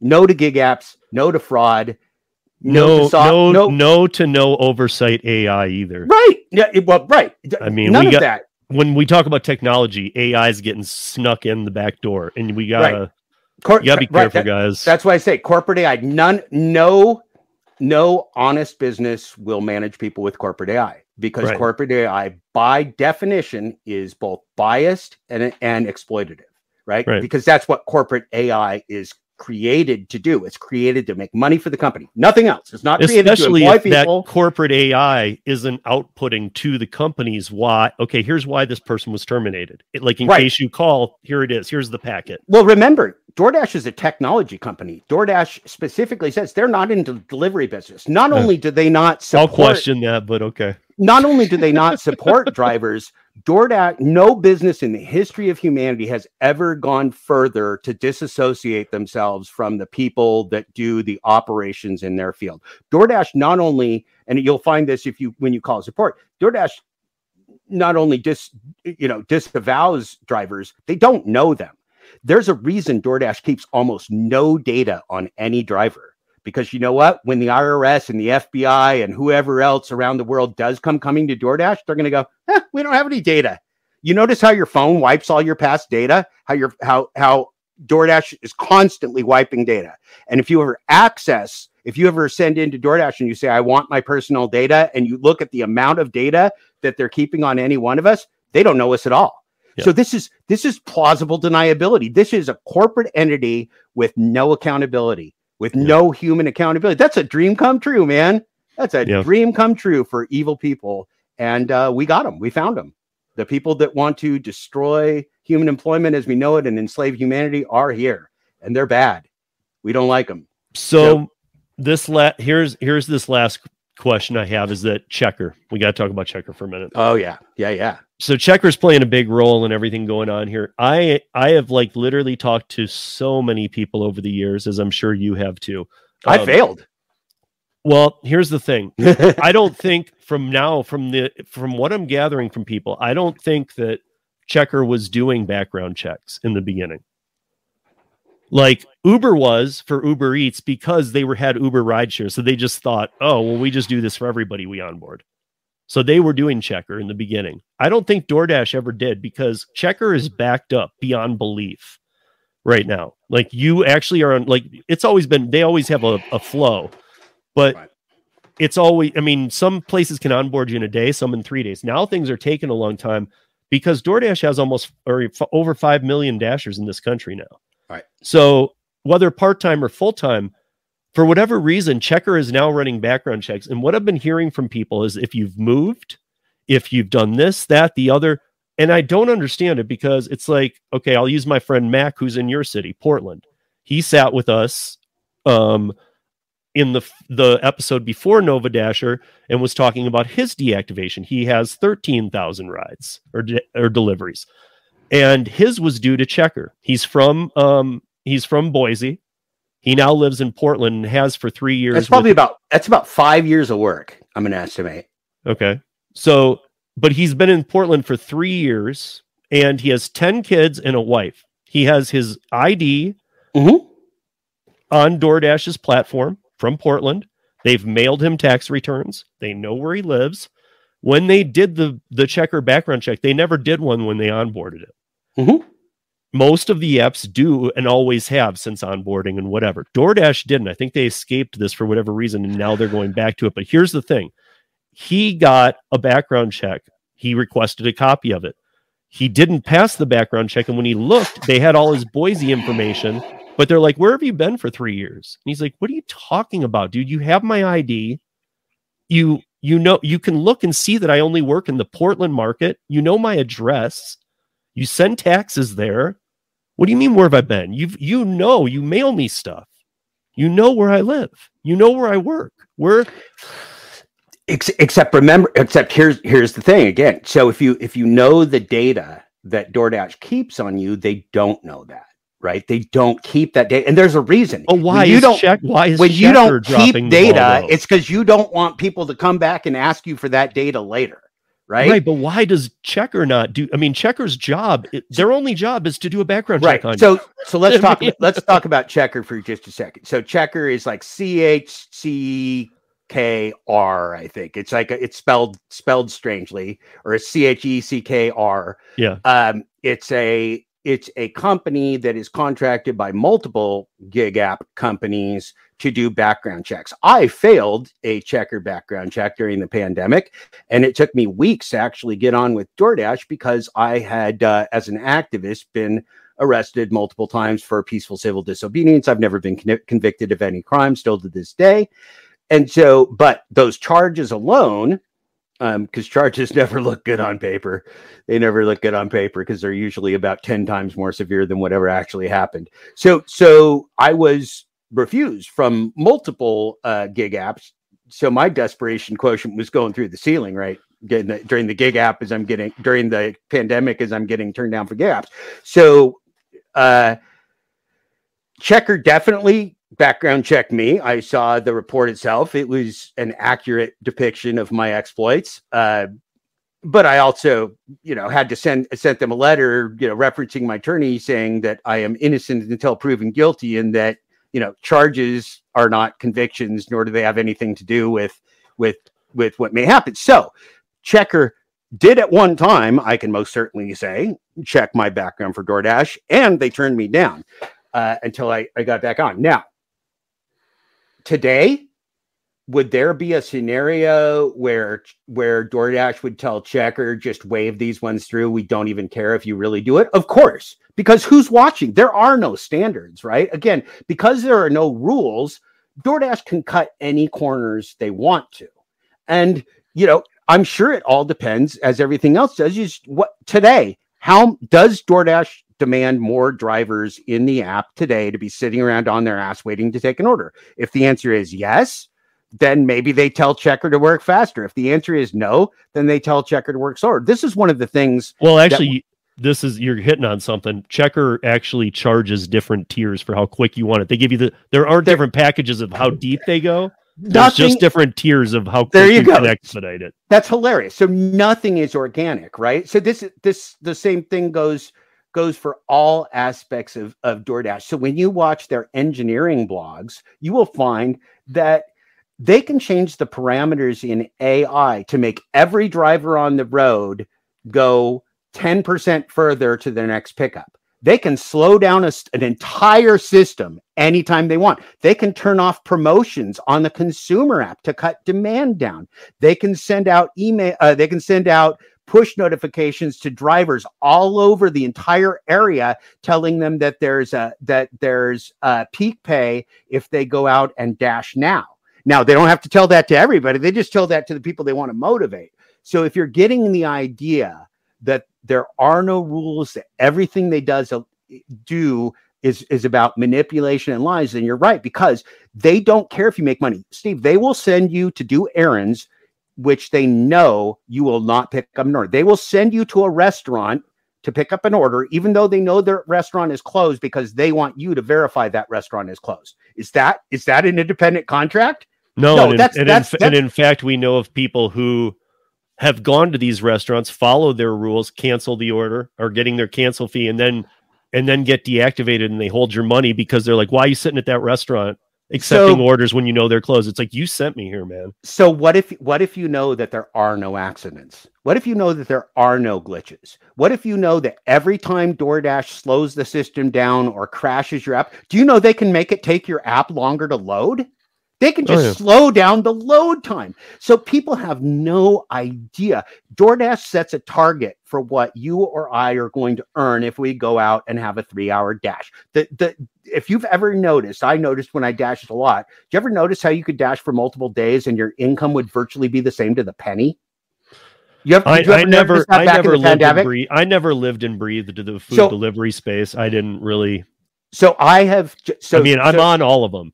Except so to be Grubhub specific, because of what I was because of what I was studying and attempting to do, I only have ever done gig work on DoorDash because I wanted to know DoorDash inside out, frontwards, backwards, and completely. And mm-hmm. DoorDash is by far complex enough for anybody to try and figure out this scam uh, over a lifetime. So I never did any other gig apps besides DoorDash. So I had great consistency. I door dashed. I mean, there were times when I door dashed during the pandemic, 22, 23 days in a row. Right. So yep. you can be assured dashing in the same market 23 days in a row, you can see patterns. Right. And I would see those patterns. This is this is impossible, man. You can't come out and average, you know, $22.67 an hour, four days in a row by coincidence. That's just not going to happen. No, and right? I think I think there's a metric. I think there's a metric inside there that again, again, I, none of us know the algorithm, so I'm not going to pretend to. But I'm. I think there's a metric that like goes along with what you're saying. That's like, okay, he made three hundred dollars that day in ten hours. He's comfortable working ten hours for three hundred dollars. Of course, there's. And so let's let's just go back to the math because I think I actually misspoke on the math when we last talked. So the way to calculate this, if if there was simply 10, uh, 15 drivers and mm-hmm. 15 restaurants the math to figure out the number of possible combinations for that is called 15 factorial. Okay. That's 15 times 14 times 13 times 12 times 11 times 10 times 9 times 8 times 7 times 6 times 5 times 4 times 3 times 2 times 1. Okay. That is the number of possible combinations of 15 restaurants and 15 drivers. You know how many that is? Over a trillion over 1 trillion combinations.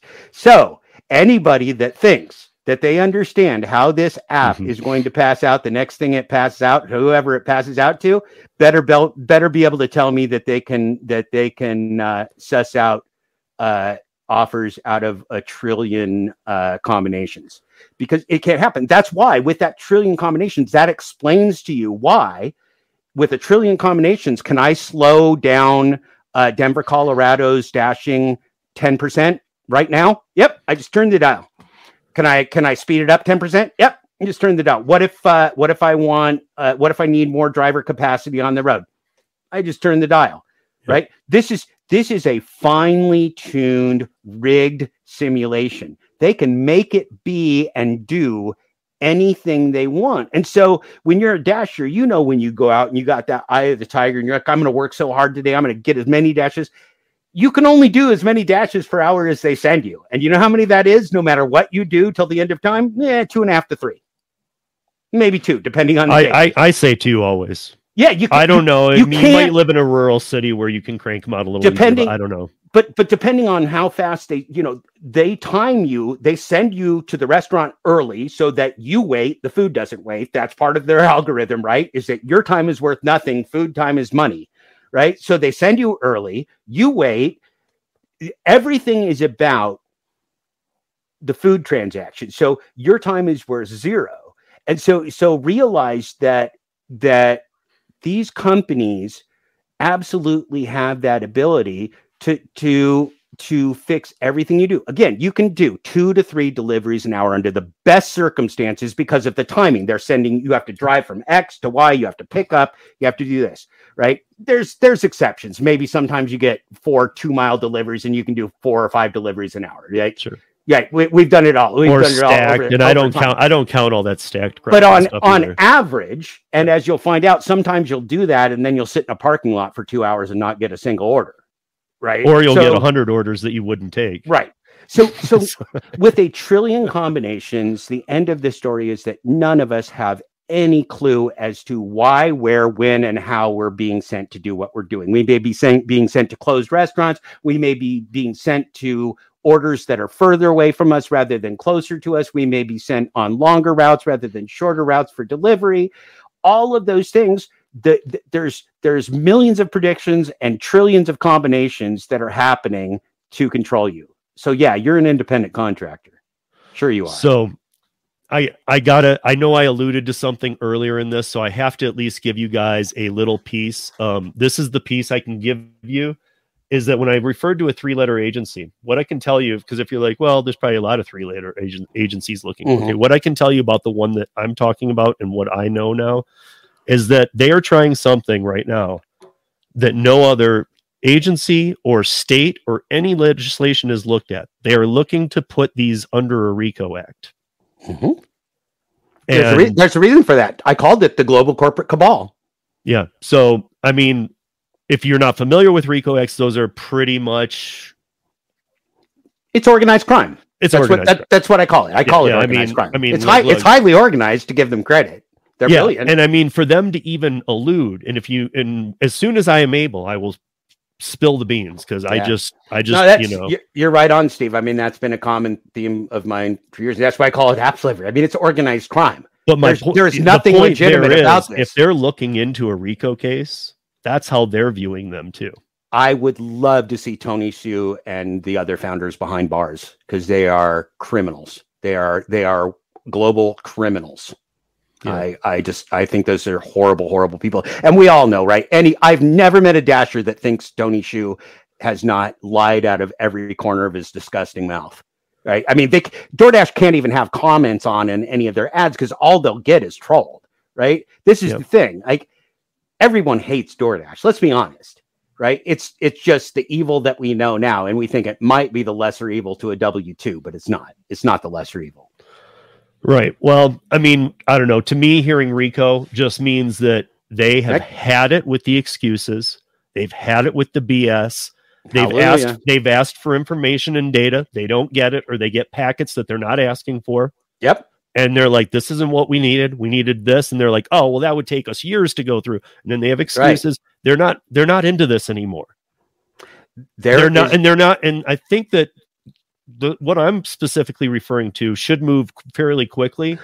And So if it here- does, here's the thing: I I don't think that I don't even think they're willing to deal with them anymore. here's here's what I see potentially happening. And and so if you read if you read the financial statements of DoorDash, the the the uh the annual reports, you will see that their largest business risks are all regulatory. They, they know this, right? They've been waiting for this shoe to drop since they started this global fraud. Now, here's what here's what's really sad.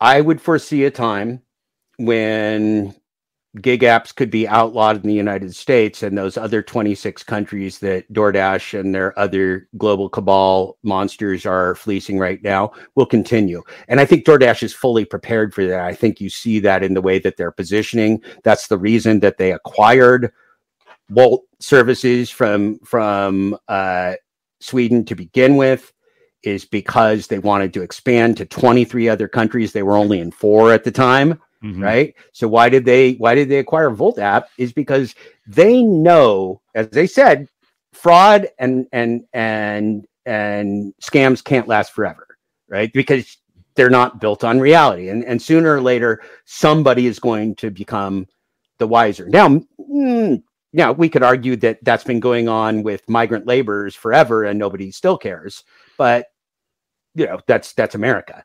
The fact is the jig is up. Everyone knows. DoorDash knows. DoorDash knows this is their business risk. Their business risk is not their rigged computer game. The business risk is legislation and oversight uh, uh, uh, by governments. So um, I would absolutely believe there could become a time when DoorDash would be shut down in the United States, but will continue to uh, exploit India and Or 24 other nations. And there's going to be plenty. That's why they're investing around the world. or even they'll be operational in the United States, but you'll be seeing DoorDash executives put in prison.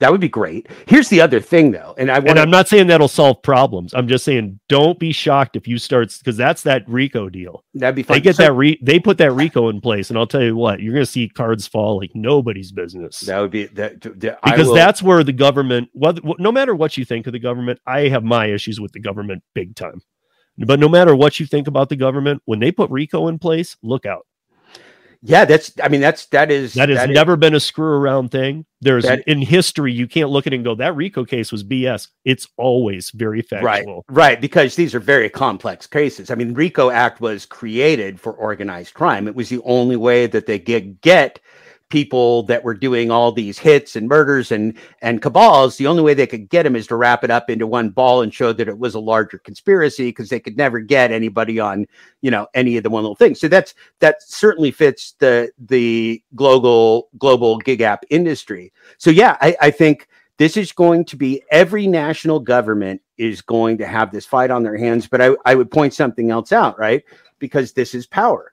Corporate ai in the form of DoorDash's technology could control the workforce of any company, any nation, any dictator, any anybody. So if DoorDash is out selling this technology to people, even if it doesn't exist as DoorDash, this is technology that's made to exploit and control humans. So we're far from out of the woods here. I think this is a very I'm going to tell you I think as an economist and as as a civil rights uh, advocate, I think we're in the very early stages of exposure to this gig economy, but the danger is far from over. The danger of corporate AI controlling human beings, even if they were called employees. If we made a mad, if we waved a magical wand today and made every gig app worker an employee, that doesn't mean that corporate AI wouldn't still exploit them. That just means we'd call them employees, and that's that's why I think people are so people's angst about W two versus versus gig app is so misplaced. Th- That's you're playing their game. It doesn't matter call it fair employment. Call it call it transparency. Call it whatever you want. And if it doesn't if it doesn't qualify for fair safe transparent employment then don't do it. I don't care what you i don't care if you call it a gig app or if you call them con- don't do it. If it's either fair transparent honest contracts or it's a scam. There's Mhm. not there's not two ways. So uh, we're at the very early start. Corporate AI is the danger, and it's not the danger because it's going to write your kid's term paper or it's going to take your marketing job. It's the danger because it has the ability to control the consciousness and actions of massive quantities of human beings. It and to get out of control of its makers Absolutely, it's scalable. It's I already mean, out almost almost the day almost the day they launch it it's gone Right. It, the day they launched it, it is gone, right? We have the two impossible, the two twin impossibility scenarios, right? It's unexplainable and it's ununderstandable.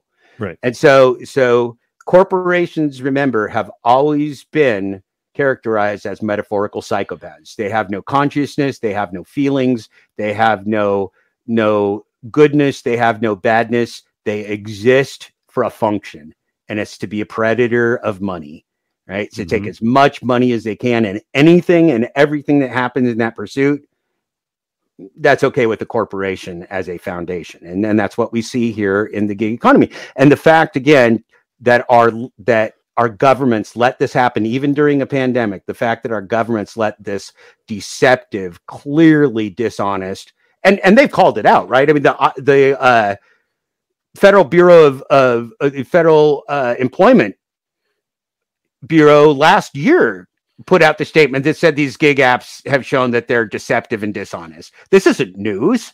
No, no, the NLRB, the I mean, they're all This isn't news. This is just the fact that we're not doing anything about it. It's Right. it's it's but but remember the status quo has amazing inertia and there are a whole lot of app slaves out there that are going to fight like hell to stay app slaves, which blows my mind, man. Blows my mind. They don't know what they're signing up for. Yeah. And so, you know, all I can say, but guys, is is keep keep watching, keep an eye out. Um, we will definitely I I know Jeff will and I- know David and I will too. David and I are going to be deep diving really into this three letter agency as the minute we can. and Um, and and protect yourself. Everything you do, give your informed consent. If somebody wants to have sex with you, okay. Do you have informed, you know, give your informed consent or don't. If somebody wants you to work for them, give your informed consent or don't. If somebody brings you corporate AI, you know you can't give informed consent, so don't do it. I mean, be a this is like te- this is like raising kids. How do you raise your kids and tell them not to like get in the white van that says you can have candy? Don't get in the white van that says you can have candy. The well, now you don't even need to get in the white van because all these No. years that Uber said 18 and over, no unaccompanied minors, oh, period. Oh, right. Now they've said hey listen we've done a we've done this study and only 25% of 16 year olds in this country have a driver's license. It used to be 52 Right. so now oh there's a lot of people not getting cars and not getting licenses. Let's just allow the drivers to make a decision whether the teenager can be picked up by them the independent contractor or not. And if anything happens i guarantee you guys and i know i've had a, this argument with a lot of people they're like well uber says and i called my insurance and they said Yeah, I that- know. well, but no, but here's what people are telling me that have the correct insurance. I've called my insurance and I've said Uber's now allowing teens because I asked people to do this. Call your insurance. Mhm. They've called and they've said no. Uber has you during period three. So even the insurance companies aren't on top of this because the insurance companies are on your side. They want your money. Yeah. So, at least they're on your side Companies and- are also taking a beating from the gig economy, and they're not happy about it. Right. But I mean, too, I mean, if I was an insurance agent, whether it be Allstate or whatever, I would even take my chances of being fired and telling you, don't ever put a minor in that car. A- absolutely. I don't And care so- what Uber tells you. So again, this is this goes back to the fact there are no rules. When you signed up, when everybody that ever did an Uber uh, Uber uh, task signed up for it, they were told that they would not have to transport underage minors. And yet we got calls from minors. and now you the have to do it. So we're, No, we're but I used to get calls all the time. And then even some minors would have the parent call me. And the parent was screaming at me. And I'm trying to protect their kid. They're like, dude, just take him home. I'm giving permission. I'm like, A, I don't know you're the parent. B, it's my independent contractorship. C, I'm not letting them in the car. They're underage. It says I'm not allowed to take unaccompanied minors. And even if I was, I wouldn't do it. You see you see what a pain in the ass somebody experienced with with knowledge like you have steve? You just you're just not a good mark for the gig economy because you're not you're not falling for their scams anymore right? You're not just taking the fact that they tell you you can do x and y for for the truth. And that's what every single person needs to do. We know most doordash drivers are underinsured. We know most we know most rideshare drivers are underinsured. That's a terrible tragedy both both for their physical health and for the physical health of others and for their for their automobile and financial health so this is this is god bless the rico act this is organized crime uh i i uh I don't know. I don't. I probably don't root for the FBI or the or the C or the uh, you, I trust me. When it comes out, you'll be shocked which three-letter Or- agency or it the. IRS You, you hard won't. You, enough, but- you won't. You won't. You won't guess it. You would never guess it. Hey, it could even be the CIA. This is international fraud too. I mean, remember, these companies are not funded by your by by Make America Great Again uh, aficionados. This is this is by SoftBank. This is Chinese money. This is from the Saudi Arabian uh, royalty. That's who's funding the these exploits. So yeah, man, get them, get them. Right. I mean, for them to go after a Rico on some gig apps that deliver food, though, and such, is speaking volumes. Well, It is- remember, they're ho- they're they are hiding billions and billions and hundreds of billions of dollars of transactions while they're labor laundering, right? They, they compute all of these companies compute the cost of their labor prior to even reporting net income. So they are hiding massive amounts of material information from all governments and representing to them that there's this the, there's this magic that happens outside their corporation that's bad for governments. Governments are not going to like that long time. Just like cryptocurrency right? If if anybody thought that governments wanted to be replaced uh, as the owners of the business of of making currency on the planet earth um, they may have they may have uh, miscalculated because governments do not plan to give up the right to uh, to establish your currency and tax you upon it. It's going to be a lot of interesting times, and and there I think there are lots of parallels between the gig economy and between cryptocurrency and NFTs and all of these scams.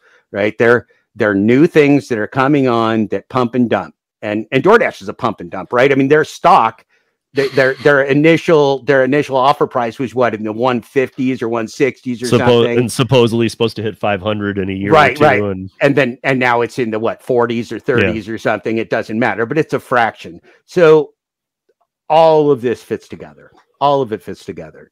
Yeah. I mean yeah. And it's it's just sad. So um i mean there's like like you said in the beginning we could probably go for 10 more hours yeah, sure. I mean, but this is to, this has been great. I mean, I think I think we spoke a lot of truth here, and it sucks because I, am going to tell you something. I, I do not like to criticize anybody on here. I don't like criticizing any of the YouTube broadcasters or anything else, but we have to be honest with each other with what is right. If if I look away from people that are on YouTube gig apps because they seem like nice, earnest people that that want the best for others that's not the right thing to do because they're inviting they're inviting the masses in to be victims of app slavery. And and i think together this community needs to start standing up and saying okay it's time for keep broadcasting but how about we broadcast more truthful content more honest content more practical content about what's actually happening here not what our gross income is as we drive around and chat with our friends? Because that's just marketing bullshit. That's just marketing bullshit. And mm-hmm and and the only reason I care is because it's hurting people. You know, if you if you want to go out and you know, if Pedro wants to go out and sell his Pedro t-shirts, I don't give a shit. But quit leaving, quit quit selling out uh, your fellow humans into app slavery. All of you, everyone, don't do it. If you personally want to make the decision to do it, you do it. Don't don't don't. No friend tells another friend to go work for a gig app. Friends don't turn other friends on to gig apps if you got to do it, if you got to, if you got to, you know, dig out your sewer, dig out your sewer. There's a lot of shit there. You got to do what you got to do, but don't don't go selling it to everyone else. Yeah, I mean, I guess, you know, but, you know, to, I mean, again, I'm going to use Kim for a second. You know, Kim's always trying to, she's not telling you, get into this, do this. But she's, she's misrepresenting she's saying, the impact saying, of your efforts. Here's what I'm doing to combat what's going on. Right, but what she's doing only works for her, and that's that's where right. she that's right. where she misses the point is that she's broadcasting to herself. Nothing she does or says means anything. She's just broadcasting her own her own exploits, which is fine, but it's not extensible to anybody that's new to DoorDashing because Kim lives in Canada and she's in some specific market in Canada. Has been doing this for X no, number Kim, of years. Kim's in Jersey. Oh, it's Kim's in Jersey. I thought she was can- yeah, Canadian. No, no, no. Maybe that's another one's. Case. Sorry, Kim. You're in New Jersey. So, so she's been doing this, but it's not extensible to other people. So, what if not? Not that I'm the uh, the coach for YouTube uh, broadcasters, but what would I love to see people talk about? Well, I mean, it's what you and I talk about. It's what Sergio Avedian and I talk about. It's what mm. Tim Carter and I talked about it's the honesty about what this gig economy is and how it impacts people. Because when we put rose colored glasses on and when we talk about gross income and we don't talk about all the negative impacts on people's lives and socially, and then we're we're spreading bad will against consumers and all those things. I think they're doing a very huge disservice to to low wage workers across the world. And so I, would like to see them stop. And and they will stop eventually because they look like fools already. They have to, we have to change with the times. We didn't know three years ago what we know today. Steve, you didn't know. I didn't know. I didn't know last year what I know today about DoorDash, but I'm evolving with the times. I'm not going to give you the same advice that I gave you three years ago because three years no, ago no. I didn't know what. See, when I go back, I go back to 2014 with Uber and Lyft. Right. So I'm going so far back that I'm like I have a whole story of yeah, it's gone downhill, but not quite at the at the rate of DoorDash, but it's still right that same type of problem. so we, we have to be honest with each other not not for youtube or anything else but we have to be honest with each other as human beings so we can have informed consent so we can have truth so we don't get misled by corporations and scammers. Because because we got to stick together right? This workforce all of us human beings that have been doing the work doing the hard work have been doing it since america started and before and you know our entire lives. There is nothing that the gig economy has offered us but human exploitation. And we have to be smart enough to see it. We have to right? Yeah. we have to. And it's yeah. and when i say have to i don't mean like what if we don't it's going to be fine. No if we don't you will pay and your kids will pay and humanity in the future will pay. And that really sucks. I'm scared for all of us. Yeah. Well i think that's part of the timing of this three letter agency too. They they are realizing that the churn rate isn't stopping. And they're no. like okay listen if this isn't going to end even and people are people wise up and they leave or, or they go to part-time and understand but they're like but it's not happening at enough of a rate and too many people are getting into the system. And and they're like so we need to get involved. You know uh, and so like for again I, I again for those that don't more. know for those that don't know when the word rico gets used you should shake in your boots. Not you gig workers but these platforms should. That is not to be taken lightly. It'll be a beautiful day. So, um, as we sign off here, Jeff, what do you, where should people, I'll, I'll, put everything in the show notes, guys. So if you're listening to this, you can find all Jeff's stuff in the show notes, but where should people find you? And hey, just, just Google what's on screen. If you put in Jeff Thomas Black full Dashclosure, you'll find me on Twitter. You'll find me at R9 Media. You'll find me on Substack, uh, Medium. I write a lot of stuff. I write about civil rights. I write about minimum wage, economics, housing. I tell you stories about when I went to jail and went in solitary confinement and was there on Father's Day in 2019 because I stand for my community too. So, uh, would love to share any of that writing. And of course, I'm very passionate about full Dashclosure because I think it's a civil rights issue for humanity um, that this gig economy has has come into place. So, uh, yeah, just just Google what's on the screen. You can find me on any of those places, and I answer every message, every email. Uh, I really value the input from the gig workers, and I watch hours, tens of hours every week of gig economy broadcast because I need to know what's going on, good, bad, and indifferent. And so, um, yeah, hit me up, talk to me, tell me what you know, tell me I'm wrong. Um, that'd be great too. Um, yeah. I, I I would love to learn from what we have, but but uh, like I said, let's stick together and let's get smarter because corporate AI is new. And and Steve, you and I are kind of giving everybody the heads up. We've been through this a little bit, so keep your head up. Don't fall for it. Um, we know more now. Yeah, one hundred percent. So you guys, uh, with that, you know, I'm not. I know that people aren't just going to drop off the platforms tomorrow, and I'm, and I'm not even telling you to. Look, I mean, Mm-mm. do what you got to do and do what you got to do, but just start opening up to what's the bigger picture. And if you know you're being deceived, if you know that everything they're doing is gaming you, then you can do what the only savvy dashers that I've ever known has done, which is never take any any order that is not clearly economically viable. Don't pay attention to their programs, don't pay attention to their ratings, their stats, or anything else. If you get an economically viable order that you want to go deliver, take it. Everything else, turn it down because there will never be a reward to to compensate for your loss. There will never be a reward to compensate for you even breaking even. Every time you turn that key on your car, you are taking business risk and human risk and life risk. That risk alone is worth something. I used to tell people my car key doesn't even turn for under seven dollars.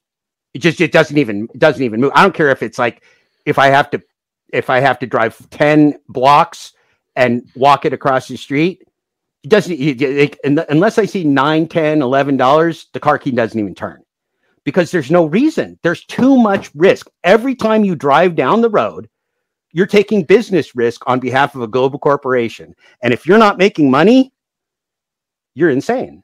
if you're not making money and you're taking risk for global corporation with your car and your life and your work, that is really stupid. So don't do it. You can you can beat the gig apps. You just have to refuse to play their game. Uh, or, pl- or play with beats or, the wrong term. You or, can, play, you, or play with the right crowd. you can you can play with the right crowd and protect yourself a little bit in gig apps if you ignore all their gamification, all their lies, Yes. and only take orders that that are clearly economically viable, even with their deception. So, Mhm. but you got to do what you got to do, right? Yeah. We're going to replace this system, and when it goes away, employment will come back. One thing we're seeing when we see two massive SoftBank projects just closed. One of them was a pizza place that was like half billion dollars put into it. Another one was here in Portland, which was a uh, a food pod, kind of a, a a trailer scenario where they were producing food. That was another tens or hundreds of billions of dollars wasted. There's a reason they're actually shutting down some of these these other investments that required employment labor is because they don't want employees. So you're actually seeing you're actually seeing corporations shut down and quit operations if they're dependent upon employees and that's because they see that if they go to the gig economy they can make the money without any of the responsibility and then they're literally printing money so we've got a trend here that is really terrifying there's th- this gig economy is pandora's box it's going to go one way or the other it's either going to get shut down or all hell's going to break loose Yeah. so thank Well, you everybody we are It's we are going to see some things, you guys. So just keep your eyes open, keep your ears open, and uh, yeah. Um, I know we ran over, but how can we not run over? So, uh, um, thank you, Jeff, and uh, you pleasure. guys. We will see you back here next week on the Rodeo Audio Podcast. Peace, Thank you. everybody. Happy Juneteenth. Happy June 19th. And uh, everyone take care of themselves and your friends and your neighbors and your community. I'm driving my life away. Looking for a better way.